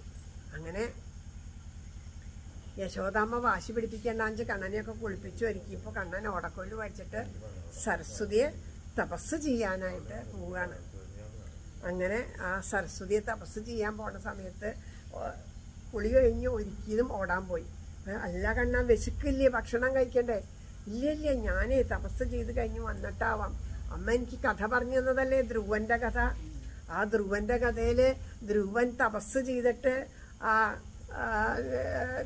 ഭഗവാനെ പ്രത്യക്ഷാക്കിയിട്ട് അനുഗ്രഹം വെച്ചിട്ട് അച്ഛന്റെ മടിയിലിരുന്നു എന്നൊക്കെ അമ്മ എനിക്ക് പറഞ്ഞു തന്നില്ലേ? അതുപോലെ ഞാനും സരസ്വതി ദേവിയെ തപസ് ചെയ്യാൻ പോവുകയാണ് അപ്പോൾ യശോദാമ്മൻ അതെ ആ തപസ് ചെയ്യാൻ പോണേന് മുമ്പ് സുനീതി അമ്മ അത് ഞാൻ അമ്മ പറയാൻ വിട്ടുപോയതാ. ധാരാളം പാലും വെണ്ണയൊക്കെ കൊടുത്ത് വയറ് നിറഞ്ഞ് ഭക്ഷണമൊക്കെ കഴിച്ചിട്ടാ ധ്രുവൻ പോയേ. അത് കാരണം കൊണ്ടല്ലേ കുറേ നേരം ധ്രുവന് വിശക്കാണ്ടൊക്കെ ഇങ്ങനെ ഇരിക്കാൻ പറ്റിയത്? അതെയോ? എന്നാ അമ്മ വേഗം തരൂ ആഹാരം തരൂ എന്ന് പറഞ്ഞു. അങ്ങനെ പാലൊക്കെ കൊടുത്ത് വയറൊക്കെ നിറഞ്ഞ് കണ്ണൻ പറഞ്ഞു ഞാൻ ഇനി എന്നെ ആരും വിളിക്കരുത് കേട്ടോ. ഞാൻ സരസ്വതി ദേവിയെ പ്രത്യക്ഷപ്പെടുത്തിയിട്ടേ ഇവിടെ എനിക്കുള്ളൂ എന്ന് പറഞ്ഞതാ അവിടെ ആ മുറ്റത്തുള്ള വലിയൊരു കദമ്പ മരത്തിന്റെ ചുവട്ടിൽ ചെന്ന് കണ്ണടച്ചിരിപ്പായി. യശോദയ്ക്ക് ആ ഇരിപ്പും മട്ടുമൊക്കെ കണ്ടിട്ട് അത്ഭുതമായി. ശരിക്കും തപസ് ചെയ്യുന്ന പോലെ തന്നെ ധ്യാനത്തിൽ മുഴുകിയിരിക്കുകയാണെന്ന് തോന്നണ പോലെ ആ സുന്ദരമായ രൂപം എത്ര കണ്ടു നിന്നിട്ടും യശോദാമ്മയ്ക്ക് മതി വരുന്നില്ല. ചമ്പ്രം പടിഞ്ഞ് ആ ഓടക്കോയിലൊക്കെ മടിയിൽ വെച്ച് ചമ്പ്രം പടിഞ്ഞ് കയ്യൊക്കെ രണ്ടും ഒരു കൈ ഒരു കയ്യിന്റെ മേലെ ഇങ്ങനെ മലത്തിയൊക്കെ വെച്ച് മനോഹരമായിട്ടിതാ കണ്ണൻ കണ്ണടച്ച് ഇങ്ങനെ ഇരിക്കുകയാണ്. അഞ്ച് മിനിറ്റ് അടങ്ങിയിരിക്കാത്ത കണ്ണനാണ് കേട്ടോ ആയിരിക്കണേ അപ്പോഴേക്കും യശോദാമതാരോഹിണിയും നന്ദഗോപരിയും മറ്റുള്ളവരെയൊക്കെ വിളിച്ചു കൊണ്ടുവന്ന കാഴ്ച കാണിച്ചു. എല്ലാവരും ആ കണ്ണന്റെ ആ തപസ് കണ്ട് സന്തോഷിച്ചിരിക്കുക. പറഞ്ഞു ഇന്നിനിപ്പോൾ വല്ലാണ്ട് കുറുമ്പൊന്നും ഉണ്ടാവില്ല. ഇനി ഇങ്ങനെ കഴിഞ്ഞോളും. അപ്പോൾ ആ ഓടക്കൊഴി വായിക്കാൻ അറിയണ വരെ പഠിയാൻ മനസ്സിലാക്കണ വരെ ഇങ്ങനെ കുറച്ച് കുറച്ച് നേരം ഇങ്ങനെ ഇരുന്നോളും. സമാധാനമുണ്ട് എന്നൊക്കെ വിചാരിച്ചു അവിടെ കുറച്ച് കൂട്ടുകാരൊക്കെ കളിക്കാൻ വേണ്ടി വന്നതാണ് അവരൊക്കെ ഇങ്ങനെ നിരാശപ്പെട്ടിരിക്കുകയാണ്. അപ്പോൾ അവരോട് പറഞ്ഞു നിങ്ങളെ കണ്ണനെ ചെന്ന് വിളിക്കുകയൊന്നും ചെയ്യരുത് കേട്ടാ കണ്ണനെ സങ്കടാവും. വിഷമാവും. നിങ്ങൾ വിളിക്കേണ്ട. നിങ്ങൾ ഇവിടെ ഇരുന്നോളൂ. നിങ്ങൾക്ക് വയറു നിറച്ച ആഹാരമൊക്കെ ഇവിടെ കൊണ്ടുവന്ന് തരാം. കണ്ണൻ എണീറ്റാൽ ഞങ്ങളോട് ഒന്ന് പറയണം എന്നെല്ലാം പറഞ്ഞ് അമ്മമാരെ ആ കുട്ടികളെയൊക്കെ ചട്ടം കെട്ടിയിട്ട് അമ്മമാർ പോയി. ശരിക്കും വാസ്തവത്തിൽ എന്താണെന്ന് വെച്ചാൽ ഭഗവാൻ ആ സാക്ഷാൽ സരസ്വതിയെ സ്മരിച്ച് വരുത്തുകയാണ് ചെയ്തത്. അപ്പോൾ ആ സാക്ഷാൽ സരസ്വതി ഹംസവാഹിനിയായിട്ട് പതിനാല് വയസ്സുള്ള ഒരു ബാലികാ ഭാവത്തിൽ ബാലസരസ്വതിയായിട്ട് ഇതാ ഭഗവാന്റെ ആ മുന്നിൽ പ്രത്യക്ഷമായി പ്രകടായി. ആ ഭഗവാന്റെ മുമ്പിൽ പ്രകടമായി കഴിഞ്ഞിട്ട് വന്നപ്പോൾ വേഗം ഉണ്ണിക്കണ്ണൻ സരസ്വതി ദേവിയെ വീണ് നമസ്കരിച്ചിട്ട് പറഞ്ഞു ഈ ഓടക്കുഴൽ വായിക്കാൻ എന്നെ പഠിപ്പിക്കുമെന്ന്. അപ്പോൾ സരസ്വതി ദേവി തിരിച്ച് കണ്ണനെ നമസ്കരിച്ചിട്ട് പറഞ്ഞു കണ്ണ എന്തിനാണ് ഭഗവാനെ അങ്ങ് എന്റെ അടുത്ത് ഇതുപോലെ ലീലകളാടണത് അങ്ങ് ആരാണെന്ന് എനിക്കറിയാം. എന്നിലുണ്ടാകുന്ന ഉണ്ടായ ഈ ഒരു ഞാൻ അറിവിന്റെ ദേവതയായത് കലാദേവതയായത് അവിടുത്തെ അനുഗ്രഹം കൊണ്ടാണ്. അവിടുത്തെ ഒരംശം എനിക്ക് പകർന്നു തന്നിട്ടല്ലേ? അപ്പോൾ അങ്ങ് എന്ന് പറഞ്ഞാൽ ഇത്രയും വലിയ കലാ കലയുടെ ഉറവിടം അങ്ങല്ലേ? പിന്നെ എന്നോട് പഠിപ്പിക്കാൻ പറയണത് എന്താണ്? എന്നൊക്കെ ചോദിച്ചു. അത് ചോദിച്ച സമയത്ത് ആ ഭഗവാൻ സാക്ഷാൽ ശ്രീകൃഷ്ണ പരമാത്മാവായിട്ടുള്ള ഭാവത്തിൽ പ്രകടമായി ദ്വിഭുജനായിട്ട് ഒരു കയ്യിൽ ഓടക്കുഴലും ഒരു കയ്യിൽ പാഞ്ചജന്യവും പിടിച്ചിട്ടുള്ള കൃഷ്ണൻ മനോഹരമായിട്ട് ആ വലിയ സ്വരൂപത്തിൽ അവിടെ ഇരുന്ന് ആ ചമ്പറം പടിഞ്ഞിരുന്ന് ആ ബാലസരസ്വതിയെ എടുത്ത് തന്റെ മടിയിൽ വെച്ചിട്ട് ദാ വീണമീട്ടാനായിട്ട് പറഞ്ഞു. ആ വീണമീട്ടുന്ന ആ സമയത്ത് മനോഹരമായിട്ട് പഞ്ചജന്യം മുഴക്കിക്കൊണ്ട് ആ വീണയ്ക്കനുസരിച്ച് പഞ്ചജന്യം മുഴക്കാൻ തുടങ്ങി. അതിനിടയിൽ കൂടെ ദാ ആ ദേവിയുടെ ആ വീണാനാദവും പാഞ്ചജന്യത്തിന്റെ ശബ്ദമൊക്കെ ആയപ്പോൾ സർവപ്രപഞ്ചവും ആ ആനന്ദത്തിൽ നിറഞ്ഞു പോയി എന്നാണ് പറയണത് സർവപ്രപഞ്ചവും ലയിച്ചു പോയി.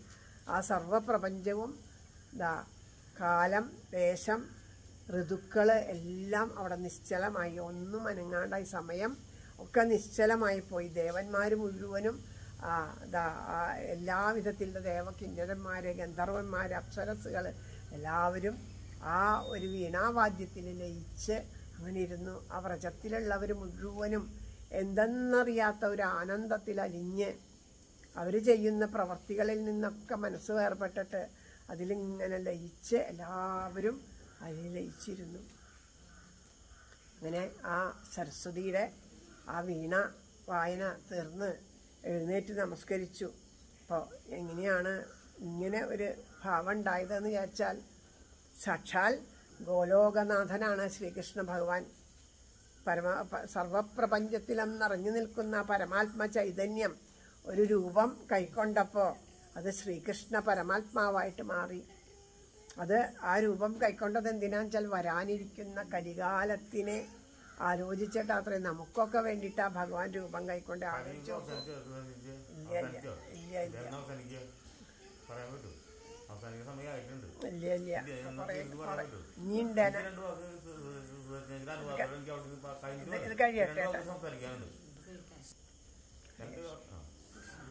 അപ്പോൾ വരാനിരിക്കുന്ന ഈ കരികാലത്തിലെ മുന്നിൽ കണ്ടുകൊണ്ടാണ് സാക്ഷാൽ ആ സർവപ്രപഞ്ചത്തിലും സൃഷ്ടി ഉണ്ടാവാൻ തന്നെ കാരണം എന്ന് പറയണം. ആ സൃഷ്ടിക്ക് കാരണമായിട്ട് ആ സൃഷ്ടിയിൽ ഇതാ അങ്ങനെ ഒരു കലികാലം ഉണ്ടാവും. ആ കലികാലത്തിലെ ഉള്ള ജനങ്ങൾക്ക് വേണ്ടിയിട്ട് ഇതാ ഭഗവാൻ സാക്ഷാൽ ശ്രീകൃഷ്ണ പരമാത്മാവായി.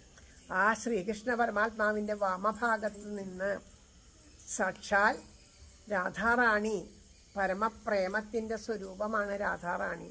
പരമപ്രേമമാണ് രാധ. ആ പരമപ്രേമത്തിന്റെ സ്വരൂപമായിട്ട് സാക്ഷാൽ ശ്രീ രാധ ഉണ്ടായി. അങ്ങനെ ആ രാധ കൃഷ്ണന്മാർ അവരുടെ ആ നിത്യസത്യമായിട്ടുള്ള അവരുടെ ആ ലോകമാണ് ഗോലോകം.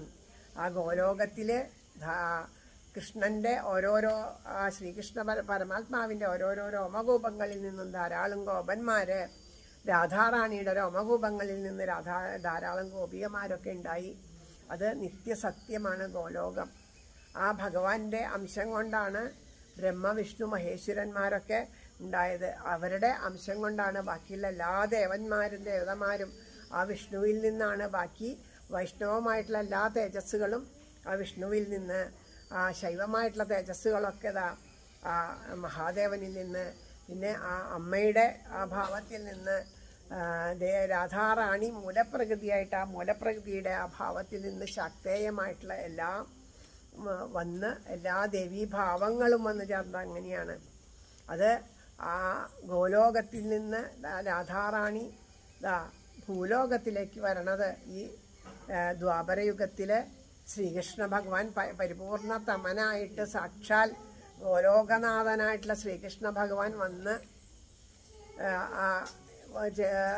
പിറന്ന അതേ അവസ അതിനു മുമ്പ് തന്നെ രാധാറാണി ആ പ്രേമമായിട്ട് വന്ന് വ്രജത്തിൽ നിറഞ്ഞു കാരണം പ്രേമമുള്ളിടത്ത് മാത്രമേ ഭഗവാൻ ഉണ്ടാവുള്ളൂ പ്രേമഭാവം ഭഗവാനോട് ഭക്തിഭാവം പ്രേമഭക്തി ഇല്ല എന്ന് വിചാരിച്ചാൽ അവിടെ ഭഗവാൻ ഉണ്ടാവില്ല ഭഗവാനെ കിട്ടണമെങ്കിൽ അതാണ് രാധ രാധാർച്ചന കൂടാതാരും കൃഷ്ണപൂജാർഹനായിട. അതിനാൽ ഭക്തന്മാർ ചെയ്യണം രാധികാർച്ചനം. എന്ന് പറയുന്നുണ്ട്. അപ്പോൾ ആ രാധയുടെ ആ പൂജ ചെയ്യാന്ന് പറഞ്ഞാൽ പ്രേമഭാവം ഉണ്ടാവണം. ഭക്തിയോട് കൂടിയിട്ട് പൂജ ചെയ്യണം. രാധയെ കൂട്ടാണ്ട് പൂജ ചെയ്യാൻ വെച്ചാൽ നമുക്ക് പല കാമനങ്ങൾക്ക് വേണ്ടിയിട്ട് അത് നേടണം ഇത് നേടണം എനിക്ക് വീടുണ്ടാവണം എനിക്ക് കുട്ടികളുണ്ടാവണം എനിക്ക് ജോലി ഉണ്ടാവണം എന്നൊക്കെ പറഞ്ഞ് നമ്മൾ ഭഗവാനെ ആശ്രയിക്കുന്നുണ്ട്. അങ്ങനെ ഭഗവാനെ ആശ്രയിക്കുന്നത് നമ്മുടെ ആഗ്രഹങ്ങൾക്ക് വേണ്ടിയിട്ട് മാത്രമാണ്. അതുകൊണ്ട് നമുക്ക് ഈശ്വര സാക്ഷാത്കാരം ഉണ്ടാവില്ല. ഈശ്വര സാക്ഷാത്കാരം ഉണ്ടാവണമെങ്കിൽ എന്ത് വേണം? എന്തു തന്നെയാണോ ഓരോ ജീവന്റെയും ഗതി. നമ്മൾ ഇതാ ഈ ഭൂമിയിൽ വന്ന് പിറന്നത് നമ്മളുടെ ആരുടെ ആഗ്രഹം കൊണ്ടല്ല അല്ലേ? ഞാനിങ്ങനെ വന്ന് പിറക്കണം ഇന്നാളുടെ പുത്രിയാവണം ഇന്നാളുടെ പുത്രനാവണം എന്നൊന്നും നമ്മൾ ചിന്തിച്ചിട്ടില്ല. നമ്മളുടെ കർമ്മ പ്രാരാബ്ദങ്ങൾക്കനുസരിച്ച് പൂർവജന്മത്തിൽ ചെയ്ത കർമ്മ പ്രാരാബ്ദങ്ങൾക്ക് അനുസരിച്ചിട്ടാണ് നമ്മളിതാ ഇവിടെ വന്ന് ജനിച്ചിരിക്കുന്നത്. അപ്പോൾ അങ്ങനെ വന്ന് ജനിച്ചിരിക്കുന്ന നമ്മളുടെ ഒരു ജീവിതത്തിൽ എന്തൊക്കെ വന്നു ചേരാം എങ്ങനെയൊക്കെയാണ് എന്നുള്ളത് ഇതൊക്കെ മുൻകൂട്ടി തന്നെ എല്ലാം നിശ്ചയിച്ചിട്ടാണ് ഈ ജീവൻ ഈ ഭൂമിയിലേക്ക് വന്നത്. അപ്പോൾ ഈ ഭൂ മനുഷ്യ ജന്മത്തിൽ നമ്മുടെ പാപകർമ്മങ്ങളും പുണ്യകർമ്മങ്ങളും പുണ്യമാ ഒരു ഒരുപോലെ സമമാവുമ്പോഴാണ് മനുഷ്യനാവുക. അപ്പം നമ്മുടെ ആ മനുഷ്യ ശരീരം കൊണ്ട് ഈ പാപത്തെയും പാപത്തിന്റെ ഫലത്തെയും പുണ്യത്തിന്റെ ഫലത്തെയും ഒക്കെ അനുഭവിക്കണം. അത് അനുഭവിച്ചുകൊണ്ട് അത് നല്ല അതാണ് സുഖദുഃഖങ്ങൾ എന്ന് പറയണത്. അതൊക്കെ അനുഭവിച്ചുകൊണ്ടിരിക്കുമ്പോൾ ഈ ഒരു മനുഷ്യജന്മത്തിൽ ഒന്നിനും ഫലേച്ഛ കൂടാണ്ട്. കാരണം നല്ലതുണ്ടാവണമെന്ന് നമ്മൾ ഫലി ചെയ്ത് നന്മയുണ്ടാവാൻ ഈശ്വര പൂജ ചെയ്താൽ അതിന്റെ ഫലമായിട്ട് പിന്നെയും പുണ്യം ഉണ്ടാവും. ചീത്ത കാര്യങ്ങളാണ് ചെയ്തെന്ന് വെച്ചാൽ പിന്നെയും പാപം ഉണ്ടാവും. അപ്പോൾ പിന്നെയും ജനന മരണങ്ങളുണ്ടാവും അപ്പോൾ പുണ്യപാപങ്ങളെ ഒന്നും ചിന്തിക്കാണ്ട് യാതൊന്നും മനസ്സുകൊണ്ട് ആഗ്രഹം വയ്ക്കാണ്ട് ഈശ്വരനെ മാത്രം മനസ്സിൽ ആഗ്രഹിച്ചിട്ട് ഈശ്വര സാക്ഷാത്കാരം നേടണം എന്നുള്ള ഒരു ഭാവത്തോട് കൂടിയിട്ട് നമ്മൾ എന്ത് ചെയ്യണം? ഈശ്വര പൂജ ചെയ്യണം. അതിനാണ് മനുഷ്യജന്മം. നമ്മൾ ചെയ്യുന്ന എപ്പോഴും ഈശ്വര പൂജ ചെയ്യാൻ ചില എന്താ ഈ ശരീരത്തിന് അടിസ്ഥാനമായിട്ട് നമുക്ക് വന്നു ചേരുന്ന കർമ്മങ്ങളെല്ലാം ഈശ്വര പൂജയായിട്ട് ചെയ്യണം. ഓരോരുത്തരെയും എവിടെയാണോ ഈശ്വരൻ ഇരുത്തിയിരിക്കണത് അവിടെ ഇരിക്കുക. നമുക്ക് നമുക്ക് വന്നു ചേരണതെല്ലാം ഇതാ നമ്മളുടെ ആ കർമ്മപ്രാരബ്ധമാണ് അതൊക്കെ നമ്മൾ സന്തോഷത്തോടു കൂടി ചെയ്ത് ഈശ്വര പൂജയായിട്ട് സമർപ്പിക്കുക. അപ്പോൾ അതിൽ നിന്നൊന്നും ഫലം വെച്ചിക്കാണ്ട് അപ്പോൾ അത് ഒക്കെ ഈശ്വര അങ്ങനെയാകുമ്പോൾ നമുക്ക് കർമ്മ കർമ്മപ്രാരാബ്ധങ്ങൾ വീണ്ടും വരില്ല.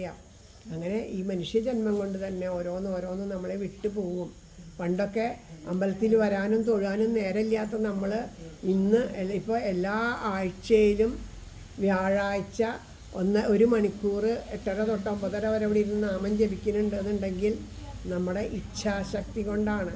നമുക്കതിന്റെ അനുഭവം അറിഞ്ഞത് കൊണ്ടാണ് അല്ലെങ്കിൽ ഒരു അനുഭവം വെച്ചാൽ ഒരു ദിവസമോ രണ്ട് ദിവസമോ വന്ന് നിന്ന് പോകും. ഇത് നമ്മൾ എല്ലാ വ്യാഴാഴ്ചയും ഇവിടെ വരുന്നുണ്ട് നാമം ജപിക്കുന്നുണ്ട് എന്നുണ്ടെങ്കിൽ നമ്മുടെ ആ ഇച്ഛാശക്തി കൊണ്ടാണ്. നാമം ജപിച്ച് ജപിച്ച് മാത്രമേ അതിന്റെ മഹത്വം അറിയാൻ പറ്റുള്ളൂ. അത് ജപിച്ച് ധാരാളം നാമം ജപിക്കണം. ഇവിടെ ഇരുന്ന് നാമം ജപിക്കണ പോലെ നമ്മൾ ഗൃഹത്തിലിരുന്ന് നാമം ജപിക്കണം. ഓരോ കർമ്മങ്ങൾ ചെയ്യുമ്പോഴും നാമം ജപിക്കണം. അങ്ങനെയുള്ള ആ മനുഷ്യജന്മമാണ്. അത് കലികാലത്ത് മനുഷ്യജന്മം കിട്ടുക വെച്ചാൽ ബാക്കിയുള്ള എല്ലാ യുഗങ്ങളിലും എന്താ ധാരാളം പൂജകൾ ചെയ്യുക യാഗങ്ങൾ ചെയ്യുക. അങ്ങനെ ഓരോ യുഗത്തിനും അനുസരിച്ചിട്ടുള്ള കർമ്മങ്ങൾ ചെയ്യണം. പക്ഷേ കലികാലത്ത് നാമജപം മാത്രം മതി. കലിയിൽ പുണ്യം നേടാൻ നാമം ജപിച്ചാൽ മാത്രം മതി. അപ്പം നാമജപം കൊണ്ടാണ് കലിയിൽ അതാണ് കലിയുടെ ഏറ്റവും മഹത്വം. കലിയെ എന്തുകൊണ്ട് വധിച്ചില്ല എന്ന് പരീക്ഷിച്ച് മഹാരാജാവിനോട് ചോദിക്കുമ്പോൾ പറയണ്ടേ. അയാൾ നാരദനോട് ചോദിക്കുമ്പോൾ നാരദർ പറയണ്ടേ കലികാലത്ത് അത്രയും പുണ്യമാണ് നാമം ജപിച്ചാൽ. കലിയിൽ വന്ന് പിറക്കാൻ ദേവന്മാർ പോലും ആഗ്രഹിക്കുന്നു. കാരണം ഈ ദേവന്മാരെന്ന് പറഞ്ഞാൽ അവർ പുണ്യം നേടിയത് കൊണ്ട് ദേവന്മാരായിട്ട് മാറിയതാണ്. ആ പുണ്യത്തിന്റെ ഫലമൊക്കെ കഴിഞ്ഞ് കഴിഞ്ഞാൽ നമ്മളിപ്പോൾ പൂജിക്കണ ഓരോ ദേവതാരൂപങ്ങളുണ്ടല്ലോ നമ്മളെ പോലെ തന്നെയായിരുന്നു. മാന മാനവൻ മാധവനായി തീർന്നതാണ്. ആ പുണ്യം നേടി ചെയ്ത് അവിടെ നിന്ന് സ്വർഗത്തിങ്കൽ അല്ലേ? സ്വർഗത്തിങ്കൽ ഇരുന്ന് സൂചിക്കണു ദുഷ്കർമ്മം ചെയ്താൽ നരകത്തിൽ പോകണു എന്നൊക്കെ പറഞ്ഞിട്ടാണ് ആ പുണ്യം നേടിയ ജീവന്മാർ അപ്പോൾ അവർ പോലും എന്താ ഈ ഭൂമിയിൽ മനുഷ്യനായിട്ട് ഭാരതഭൂമിയിൽ കലികാലത്ത് വന്ന് ജനിക്കാൻ ആഗ്രഹിക്കുകയാണ്. കാരണം നാമം ജപിച്ചാൽ മാത്രം മതി വേറെ ഒന്നും വേണ്ട. കലികാലത്തിന്റെ മഹത്വം അതാണ്. അപ്പം അങ്ങനെ ആ നാമം ജപിച്ച് നാമം ജപിച്ച് നമുക്ക് മുക്തി നേടാം. അപ്പോൾ ആ നാമം ജപിക്കണമെങ്കിൽ ആ നാമത്തിന് ഒരു നാമി ഉണ്ടാവണം അതിനൊരു രൂപം ഉണ്ടാവണം അല്ലേ? അത് ഏതെങ്കിലും ഒരു രൂപമായാൽ നമുക്ക് സാധിക്കില്ല. അതിനാണ് അതി അത്യന്ത സുന്ദരമായിട്ടുള്ള ആ ശ്രീകൃഷ്ണ രൂപത്തിനെ സ്വീകരിച്ചത്. അങ്ങനെ ആ ശ്രീകൃഷ്ണ രൂപത്തിനെ സ്വീകരിച്ച് രാധാറാണി വാമഭാഗത്ത് നിന്നുണ്ടായി. അത് നമ്മളുടെ കണക്ക് ഇപ്പോഴത്തെ ഇത് പറയുമ്പോൾ വൃശ്ചിക മാസത്തിലെ കാർത്തിക ദിനത്തിലാണ് ദേവിയുടെ ജനനം എന്ന് പറയുന്നത് രാധാറാണിയുടെ ജനനം. അപ്പോൾ ആ രാ ദിവസം എല്ലാവരും പിന്നെ സൃഷ്ടിയൊക്കെ നടന്ന് ആ ശിവനും വിഷ്ണുവും ബ്രഹ്മാവും ഒക്കെ സൃഷ്ടികളിലുണ്ടായി ഋഷീശ്വരന്മാരുണ്ടായി. അങ്ങനെ ആ ഒരു ദേവവർഷം ആയി കഴിഞ്ഞപ്പോൾ അതിനിടയ്ക്ക് ഒരു ദേവവർഷം എന്ന് പറഞ്ഞാൽ നമ്മളുടെ ഒരു ദേവന്റെ ഒരു നമ്മുടെ ഒരു വർഷം എന്ന് പറഞ്ഞാൽ അവരിങ്ങനെ കണ്ണടച്ച് തുറക്കണതേ ഉള്ളൂ. അപ്പോൾ ആലോചിച്ച് നോക്കും. നമ്മളിങ്ങനെ കണ്ണടച്ച് തുറന്നാൽ തുറക്കണ അല്ല ദേവന്മാർ കണ്ണടച്ച് ഇങ്ങനെ തുറന്നാൽ നമ്മുടെ ഒരു വർഷമായി അങ്ങനെയാണ്. അപ്പോൾ അവരുടെ ആ ഒരു ദേവന്റെ ഒരു നിമിഷമാണ് നമ്മുടെ ഒരു വർഷം. അപ്പോൾ അവരുടെ ഒരു വർഷം എന്ന് പറഞ്ഞാൽ എത്ര കാലം അപ്പോൾ ഒരു ദേവവർഷം കഴിയുമ്പോഴേക്കും സൃഷ്ടികൾ ധാരാളം ഉണ്ടായി അപ്പോൾ ആ സൃഷ്ടിക അവരെല്ലാവരും കൂടി ഗോലോകത്തിൽ നിന്ന് രാധാറാണിയുടെ ഒന്നാമത്തെ പിറന്നാൾ ആഘോഷിക്കുകയാണ്.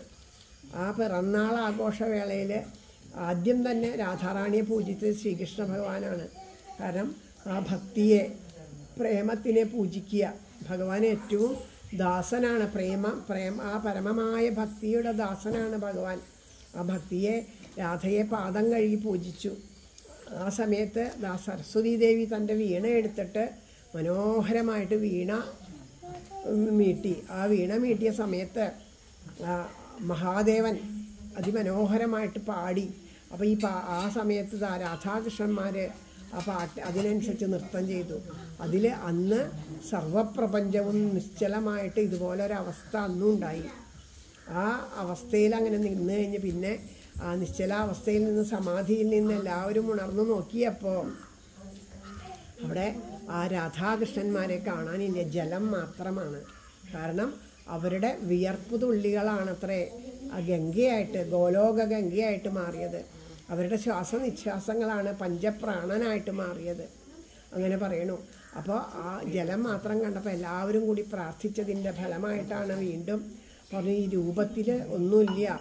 ആ ആത്മാ ആനന്ദമാണ് നിങ്ങളിപ്പോൾ തന്നെ അനുഭവിച്ചുല്ലോ അതാണ് ആത്മാനന്ദം. ആ അനുഭവമാണ് ഉണ്ടാവുന്നത് അതിനും രൂപത്തിന് അതിന് പ്രത്യേകിച്ച് ഒന്നുമില്ല. നിങ്ങൾ അനുഭവിച്ച ആനന്ദമാണ് ഏറ്റവും ഓരോരുത്തരുടെയും ഉള്ളിൽ ആത്മാവായിട്ടിരിക്കുന്ന ഭഗവാൻ. അതാണ് നമ്മൾ ആത്മസാക്ഷാത്കാരം നേടുക എന്ന് പറയാം.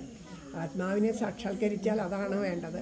ഗോപികമാരൊക്കെ അങ്ങനെ ആത്മസാക്ഷാത്കാരം നേടിയിട്ടാണ് രാസക്രീഡയൊക്കെ അതിന്റെ പ്രതീകമാണ് അപ്പം അങ്ങനെയുള്ള ആ ഒരു സരസ്വതി ദേവിയുടെ ആ വീണയാണ് അതിന് കാരണമായത്. അപ്പോൾ സരസ്വതിക്ക് എല്ലാവരും ഓരോരോ ഉപഹാരങ്ങളൊക്കെ കൊടുത്ത് ആ സരസ്വതിയെ എല്ലാവരും പൂജിച്ചു. അപ്പം അങ്ങനെയുള്ള ആ സരസ്വതി ദേവി ഒരു കാര്യം മാത്രമേ ഉള്ളൂ. വരാനിരിക്കുന്ന കരികാലത്തെ മുന്നിൽ കണ്ടുകൊണ്ട് ഭഗവാൻ ഇത്ര അതിസുന്ദരമായിട്ടൊരു രൂപത്തിനെ സ്വീകരിച്ചു. ആ ഭഗവാനിൽ നിന്ന് പ്രകടമായതാണ് എല്ലാവരും എന്നുണ്ടെങ്കിൽ ആ കലികാലത്ത് ദ്വാപരയുഗത്തിലെ ഭഗവാന്റെ ആ, കൃഷ്ണൻ ആയിട്ട് ഭൂമിയിൽ മനുഷ്യ ബാലനായിട്ട് ലീലയാടുമ്പോൾ ഒരു ദിവസം ആ വ്രജത്തിലെത്തിയിട്ട് കൃഷ്ണനെ വീണ്ടും എനിക്കിതുപോലെ ഒന്ന് വീണ മീട്ടാനുള്ള ഒരു അനുവാദം എന്ന് അന്ന് എന്ത് വരാണ് വേണ്ടത് എന്ന് ചോദിച്ചപ്പോൾ സരസ്വതി ദേവി പറഞ്ഞു. ചോദിച്ചപ്പോൾ അങ്ങനെയാണ് പറഞ്ഞത്ര അങ്ങനെയാണ് ആ സരസ്വതി വീണ്ടും ആ വ്രജത്തിൽ വന്ന് ആ വീണ മീട്ടാനുണ്ടായ കാരണം. അപ്പോൾ ഇതൊക്കെ കഴിഞ്ഞ് ഇതൊന്നും ആ ദേവി വീണ്ടും തിരിച്ച് പോയി. ആ തിരിച്ചു പോയ സമയത്ത് ഭഗവാൻ പിന്നെ അപ്പോൾ എല്ലാം പഴയതുപോലെയായി. എല്ലാവർക്കും എന്താ ഉണ്ടായെന്ന് അറിയണില്ല. എല്ലാവരുടെ ഉള്ളിലും എന്തെന്നില്ലാത്ത ഒരു ആനന്ദം. എന്തൊക്കെ സംഭവിച്ചു എന്നുള്ളത് ആർക്കും അറിയണില്ല. എല്ലാവരുടെ ഉള്ളിലും അതെ. ആ ഒരു ആനന്ദം ഇങ്ങനെ നിറഞ്ഞു നിൽക്കുക. എന്ത് കൊണ്ടാണ് ഇങ്ങനെ ഒരു ആനന്ദം എന്ന് ആർക്കും മനസ്സിലാവില്ല അങ്ങനെ എല്ലാവരും എന്താ സംഭവിച്ചത് കുറച്ച് നേരം എന്തോ ഉണ്ടായി. എന്താന്ന് മനസ്സിലാവാത്തൊരവസ്ഥയായിരുന്നു അവർക്ക്. ആ സമയത്ത് ആ അതിമനോഹരമായിട്ടുള്ളൊരു വേണുഗാനം കേൾക്കണു. ഏ എല്ലാവരും അത്ഭുതപ്പെട്ട് നോക്കി ഇത് എവിടുന്നാ എവിടുന്നാന്ന് പറഞ്ഞ് നോക്കണു. ഓരോന്നും ആ വ്രജത്തിലുള്ളവരൊക്കെ അങ്ങനെ ഒഴുകി വരികയാണ്. വന്ന് നോക്കുമ്പോൾ അതാ ആ പശുക്കൾ പശുക്കുട്ടികൾ മയിലുകൾ അവിടെയുള്ള മാനുകൾ കാട്ടിൽ നിന്ന് വന്ന മാനുകൾ കുയിലുകൾ ആ തത്തകൾ അതുപോലെ മരത്തിലൊക്കെ കുരങ്ങന്മാര് അങ്ങനെ എല്ലാവരും എല്ലാവരും ആ കുരങ്ങന്മാര് തത്തകൾ എല്ലാവരും ഉണ്ട്. ആ ഒരു വേണുഗാനത്തിന്റെ ചുറ്റും ഇങ്ങനെ നിറഞ്ഞ് എല്ലാവരും ആ വേണുഗാനം ആസ്വദിച്ചു കൊണ്ട് നിൽക്കണു. അതിന്റെ നടുവിലതാ ആ ഉണ്ണിക്കണ്ണൻ അതിമനോഹരമായിട്ട് തൃക്കാലു രണ്ടും പിണച്ച തിരുമുഖ കമലം ദക്ഷിണേ ചാച്ചുവച്ചും തൃക്കൈയിൽ കാഞ്ചനോട കുഴലുമത പിടിച്ചു തിമന്തം ഹസിച്ചും തക്കത്തിൽ പീലി കരിമുഖി വടിവും പൊണ്ടു നിൽക്കും മുകുന്ദൻ. ആ മുകുന്ദന്റെ അതിസുന്ദരമായിട്ട് ഓടക്കൊഴിച്ച രൂപം എല്ലാവരും കണ്ടു. എന്താ സംഭവിച്ചതെന്ന് അറിയണില്ല. നന്ദഗോപർക്കും യശോദാമ്മയ്ക്കും രോഹിണിക്കും ഒക്കെ അത്ഭുതമായി അവർ ഓടിച്ചെന്നു കണ്ണന്റെ മുമ്പിൽ ചെന്നിങ്ങനെ നിന്ന് ആ എല്ലാം കണ്ട് മതി മറന്ന് നിൽക്കണു ആ സമയത്ത്. ആ കണ്ണനിതാ ആ വേണുഗാനം നിർത്തിയിട്ട് കണ്ണു തുറന്ന് എല്ലാവരെയും നോക്കിയിട്ടൊന്ന് പുഞ്ചിരിച്ചു. പുഞ്ചിരിച്ചിട്ട് പറഞ്ഞു അച്ഛാ അച്ഛനെ കണ്ടപ്പോൾ ഓടിച്ചെന്നു. അച്ഛനെ അങ്ങോട്ട് കെട്ടിപ്പിടിച്ചു. ഇത്തിരി പൊക്കേ ഉള്ളൂ. അച്ഛൻ അങ്ങനെ നിൽക്കല്ലേ അരക്കെത്തണേ ഉള്ളൂ കെട്ടിപ്പിടിച്ചു. നാല് വയസ്സല്ലേ ആയിട്ടുള്ളൂ. അച്ഛാ അച്ഛാ. സരസ്വതി ദേവിയെ പ്രത്യക്ഷപ്പെടുത്തി. ഞാൻ തപസ് ചെയ്ത് പ്രത്യക്ഷപ്പെടുത്തി. എന്റെ മുമ്പിൽ സരസ്വതി ദേവി വന്നു. എനിക്കിതാ ഓടക്കോഴി വായിക്കാൻ പഠിപ്പിച്ചു എന്ന് പറഞ്ഞു. കേട്ട് നിന്നവർക്കൊക്കെ ഇല്ല എന്ന് പറയാൻ തോന്നിയില്ല. ഉണ്ട് എന്ന് പറയാനും തോന്നിയില്ല. എല്ലാവരുടെ ഉള്ളിലും സാക്ഷാൽ ഭഗവാൻ തന്നെയാണ് എന്നുള്ള ഒരു ഭാവം വന്ന് എല്ലാവരും ഇപ്പോൾ തന്നെ വീണ് നമസ്കരിക്കുന്നുള്ളൊരു ഭാവം വന്നപ്പോഴേക്കും കണ്ണൻ അപ്പോഴേക്കും അച്ഛാ ഇത് ഞാനേ ഒരു സൂത്രം കാണിച്ചു തരാം കേട്ടോ എന്ന് പറഞ്ഞിട്ട് വീണ്ടും ആ ഓടക്കോയിലെടുത്ത് വിളിക്കുകയാണ്. ഒരു പ്രത്യേക രാഗത്തിൽ വിളിച്ചപ്പോൾ ആ പശുക്കളും കുട്ടികളും വന്ന് ചുറ്റും വന്ന് നിന്നു. അത് കഴിഞ്ഞു. പിന്നെ ഒരു പ്രത്യേക രാഗത്തിൽ വിളിച്ചപ്പോൾ ആ ഗോപന്മാരും ഗോപക്കുട്ടികളൊക്കെ ചുറ്റും വന്ന് നിന്നു. അപ്പോൾ ഈ ഓടക്കുഴലിന് എന്തോ ഒരു അത്ഭുതമുള്ള ഓടക്കുഴലാണ് കേട്ടോ. സരസ്വതി ദേവി തൊട്ടോണ്ടാണോന്നൊന്നും നിശ്ചയമില്ല. അപ്പോൾ കണ്ടോ ആ പശുക്കുട്ടികളെ വിളിച്ചപ്പോൾ അവരൊക്കെ വന്നു. പശുക്കളെ വിളിച്ചപ്പോൾ അവർ വന്നു. ആ ഗോപന്മാരെ വിളിച്ചപ്പോൾ അവർ വന്നു. അങ്ങനെ വിളിക്കാൻ പറ്റുമോ അച്ഛൻ അതുകൊണ്ട്. അതുകൊണ്ടേ ഇനി അച്ഛൻ പശുവിനെ മേയ്ക്കാൻ പോവുകയാണ്. ഞാനുണ്ട് കേട്ടോ അച്ഛന്റെ കൂടെ പശുവിനെ മേയ്ക്കാൻ. എനിക്ക് അച്ഛനൊന്നും വേണ്ട. ഞാൻ ആഹാരം കഴിക്കാൻ കുറച്ച് പേര് പോയി കഴിച്ചോളൂ കേട്ടോ.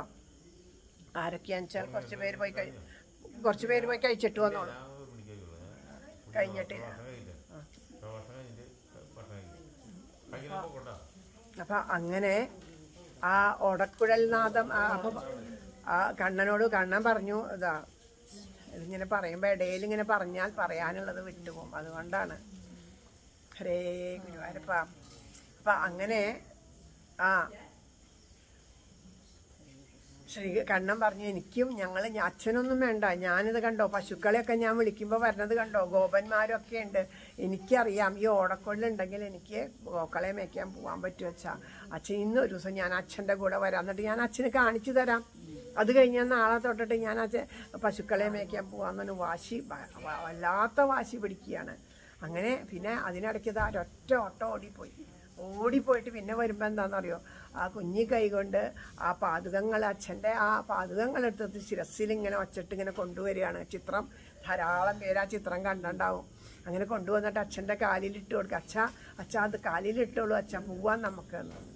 അങ്ങനെ അച്ഛനോടും അമ്മോടൊക്കെ വാശി പിടിച്ചപ്പോൾ അവസാനം നന്ദഗോര് പറഞ്ഞു ശരി ഇന്ന് ഞാൻ എന്റെ കൂടെ വന്നോളൂ. നാളെ എന്നിട്ട് നിങ്ങൾ നന്നായിട്ടാണെന്നുണ്ടെങ്കിൽ നാളെ തൊട്ട് നിങ്ങളെ പറഞ്ഞയക്കാം. അപ്പോൾ തന്നെ വന്നാൽ പോരാ ഈ ഗോപക്കുട്ടികളും വന്നോട്ടെ എന്നൊക്കെ പറഞ്ഞ് അവിടെ ചെന്ന് എന്തെങ്കിലും ബുദ്ധിമുട്ടായാൽ ഇനി അങ്ങനെ പറയരുത് ഇന്നൊരു ദിവസം കൊണ്ടുപോയി നോക്കട്ടെ എന്നൊക്കെ അച്ഛൻ പറഞ്ഞ് കൊണ്ടുപോകാനൊക്കെ ആയിട്ട് നിന്നു. അപ്പം എല്ലാവരും വന്നപ്പോൾ ദാ ഗോപന്മാരൊക്കെ പോയി മെതിയടിയൊക്കെ ഇട്ടിട്ട് വന്നു. പോവാൻ യാത്രയായി അവരൊക്കെ മെതിയടിയൊക്കെ ഇട്ട് വന്നു. അങ്ങനെ ഒരുങ്ങിയപ്പോൾ ദാ യശോദാമ്മ രണ്ട് മെതിയടി എടുത്ത് കൊണ്ടുവന്ന് കണ്ണന്റെ മെതിയടി കൊണ്ടുവന്ന് ഇടാൻ പോയിപ്പോൾ കണ്ണൻ പറഞ്ഞു എനിക്ക് വേണ്ട ഞാനിടില്ല. അതെന്താ മെതിയടി ഇല്ലാന്ന് ഞാൻ മാത്രമായിട്ട് മെതിയടി ഇട്ടാൽ എങ്ങനെയാ അമ്മേ? അതാ ഇവരൊക്കെ ഇട്ടിട്ടുണ്ടല്ലോ കുട്ടികൾ അതല്ല അമ്മ നോക്കുക പശുക്കളെയും പശുക്കുട്ടികളെയും നോക്കുമോ അവരുടെ കാലിലൊന്നും മെതിയടിയില്ല. അവർക്കൊക്കെ കാലിൽ മുള്ളു കൊള്ളില്ലേ? അവർ മെതിയടി ഇട്ടാലേ ഞാനും മെതിയടി ഉള്ളൂ ഇവർക്കൊക്കെ മെതിയടി ഉണ്ടാക്കി കൊടുത്താൽ ഞാനും മെതിയടി ഇടാം. എന്ന് പറഞ്ഞ് ഇതാ യശോദമ്മ എന്ത് പറഞ്ഞിട്ടും സമ്മതിക്കാണ്ട് വാശി പിടിച്ച് അവസാനം ദാ വൃന്ദാരണ്യം സ്വപതരമണം. ആ തന്റെ കാലുകൊണ്ട് തന്നെ ആ ആ ചവിട്ടിക്കൊണ്ട് അല്ലേ? ആ നമ്മളെന്നും ചൊല്ലാറുള്ളത് അതാണ്. ആ വൃന്ദാവനത്തിലേക്കുള്ള ഭഗവാന്റെ ആദ്യമായിട്ട് ഗോപാല അവിടെ ഗോപാല ഗോപാഷ്ടമി എന്ന് പറഞ്ഞിട്ടാണ് അതിനെ കൊണ്ടാടുക വൃന്ദാവനത്തിൽ ആദ്യമായിട്ട് പോണ ആ ഒരു ഭാവമാണ്. ബർഹാപീഠം നടവരവപു കർണയോ കർണികാരം ബിഭ്രദ്വാസക്കനകകപിശം വൈജയന്തിം ച രന്ധ്രാൻ വേണോരധരസുതയാ പൂരയൻ ഗോപവൃന്ദൈ വൃന്ദാരണ്യം സ്വപതരമണം.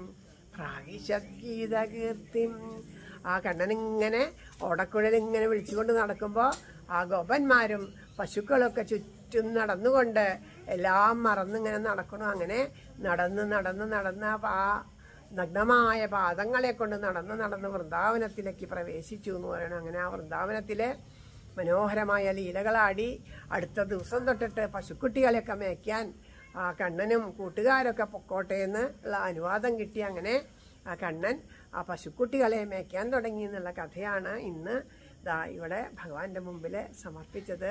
അതിൽ ആ സരസ്വതിയുടെ ഒരു പ്രഭ ആ സർ നാളെ ഉള്ള ആ സരസ് സരസ്വതി പൂജയ്ക്ക് നാളെയുള്ള വിജയദശമിയുടെ ഭാഗമായിട്ട് സരസ്വതി ദേവിയുടെ പാദത്തിലും ഇവിടെ സമർപ്പിക്കുകയാണ്. നാളെ ഇവിടെ വന്ന് കുറച്ച് നേരം പറയാം എന്ന് വിചാരിച്ചാൽ സാധിക്കില്ല. നാളെ കീനൂർക്ക് പോവുകയാണ്. അവിടെ മഹാദേവക്ഷേത്രത്തിൽ മഹാദേവ ക്ഷേത്രത്തിൽ ആണ് നാളെ ഉച്ചയ്ക്ക് കഥ പറയാനായിട്ട് ഭഗവാൻ തീരുമാനിച്ചേക്കണത്. മഹാദേവന്റെ ആ കാരുണ്യാണ് അവിടെ ചെന്നിട്ട് വേണ്ടതുപോലെ പറയാനായിട്ട് ഭഗവാൻ നമ്മൾ അനുഗ്രഹിക്കാൻ വേണ്ടി നിങ്ങളെല്ലാവരും പ്രാർത്ഥിക്കണം. എല്ലാവർക്കും എല്ലാ നന്മകളും ഉണ്ടാവട്ടെ എന്ന് പ്രാർത്ഥിക്കണം എല്ലാവരുടെയും മനസ്സിൽ എപ്പോഴും ശാന്തിയും സമാധാനവും സ്നേഹവും സന്തോഷവും ഉണ്ടാവട്ടെ എന്ന് പ്രാർത്ഥിക്കുന്നു. എപ്പോഴും നല്ലത് വരട്ടെ എന്ന് പ്രാർത്ഥിക്കുന്നു. ഇനി നമുക്ക് നമ്മുടെ നാമം ജപിച്ച് കാരണം ഊണ് കഴിക്കാൻ തയ്യാറായിട്ട് നമ്മൾ നിൽക്കണ പോലെയല്ല അവിടെയും കാത്തു നിൽക്കുന്നുണ്ട്. അതും കൂടി ഒന്ന് ജപിക്കാം. ഏഹ് അതും കൂടിയും ഒന്ന് ജപിച്ചിട്ടാവാം.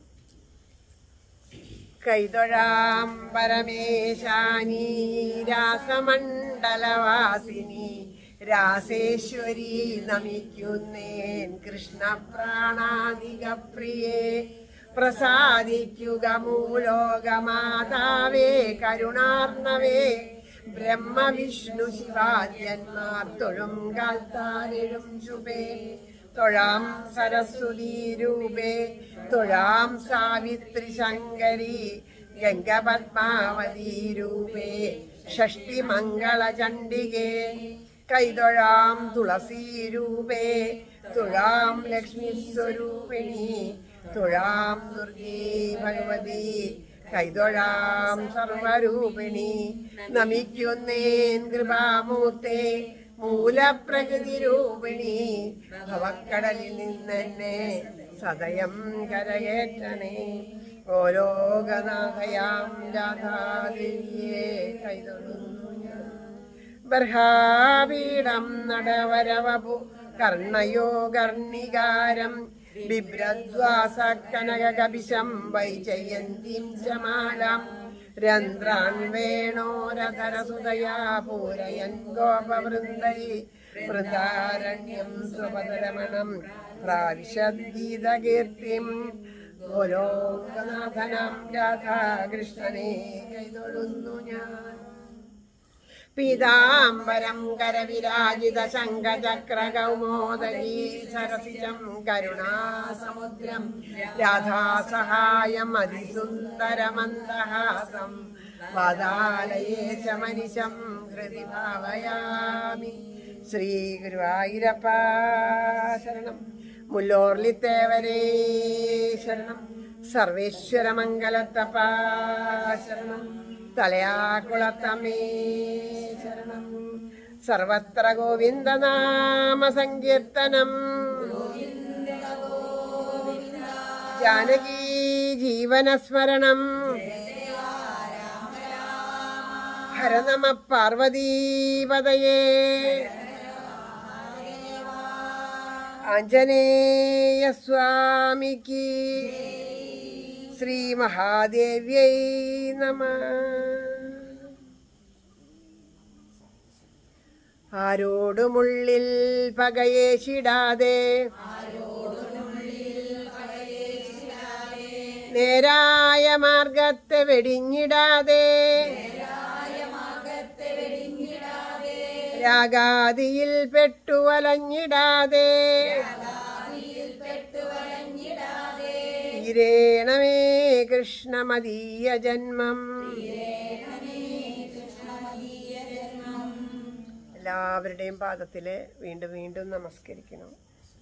ഇനിയും എല്ലാവർക്കും സത്സംഗത്തിൽ എപ്പോഴും സത്സ ഭഗവാന്റെ ചിന്തയോടുകൂടി സത്സംഗത്തിലിരിക്കാൻ സാധിക്കട്ടെ എന്ന് പ്രാർത്ഥിക്കുന്നു. ജയ ജയ ശ്രീരാധേ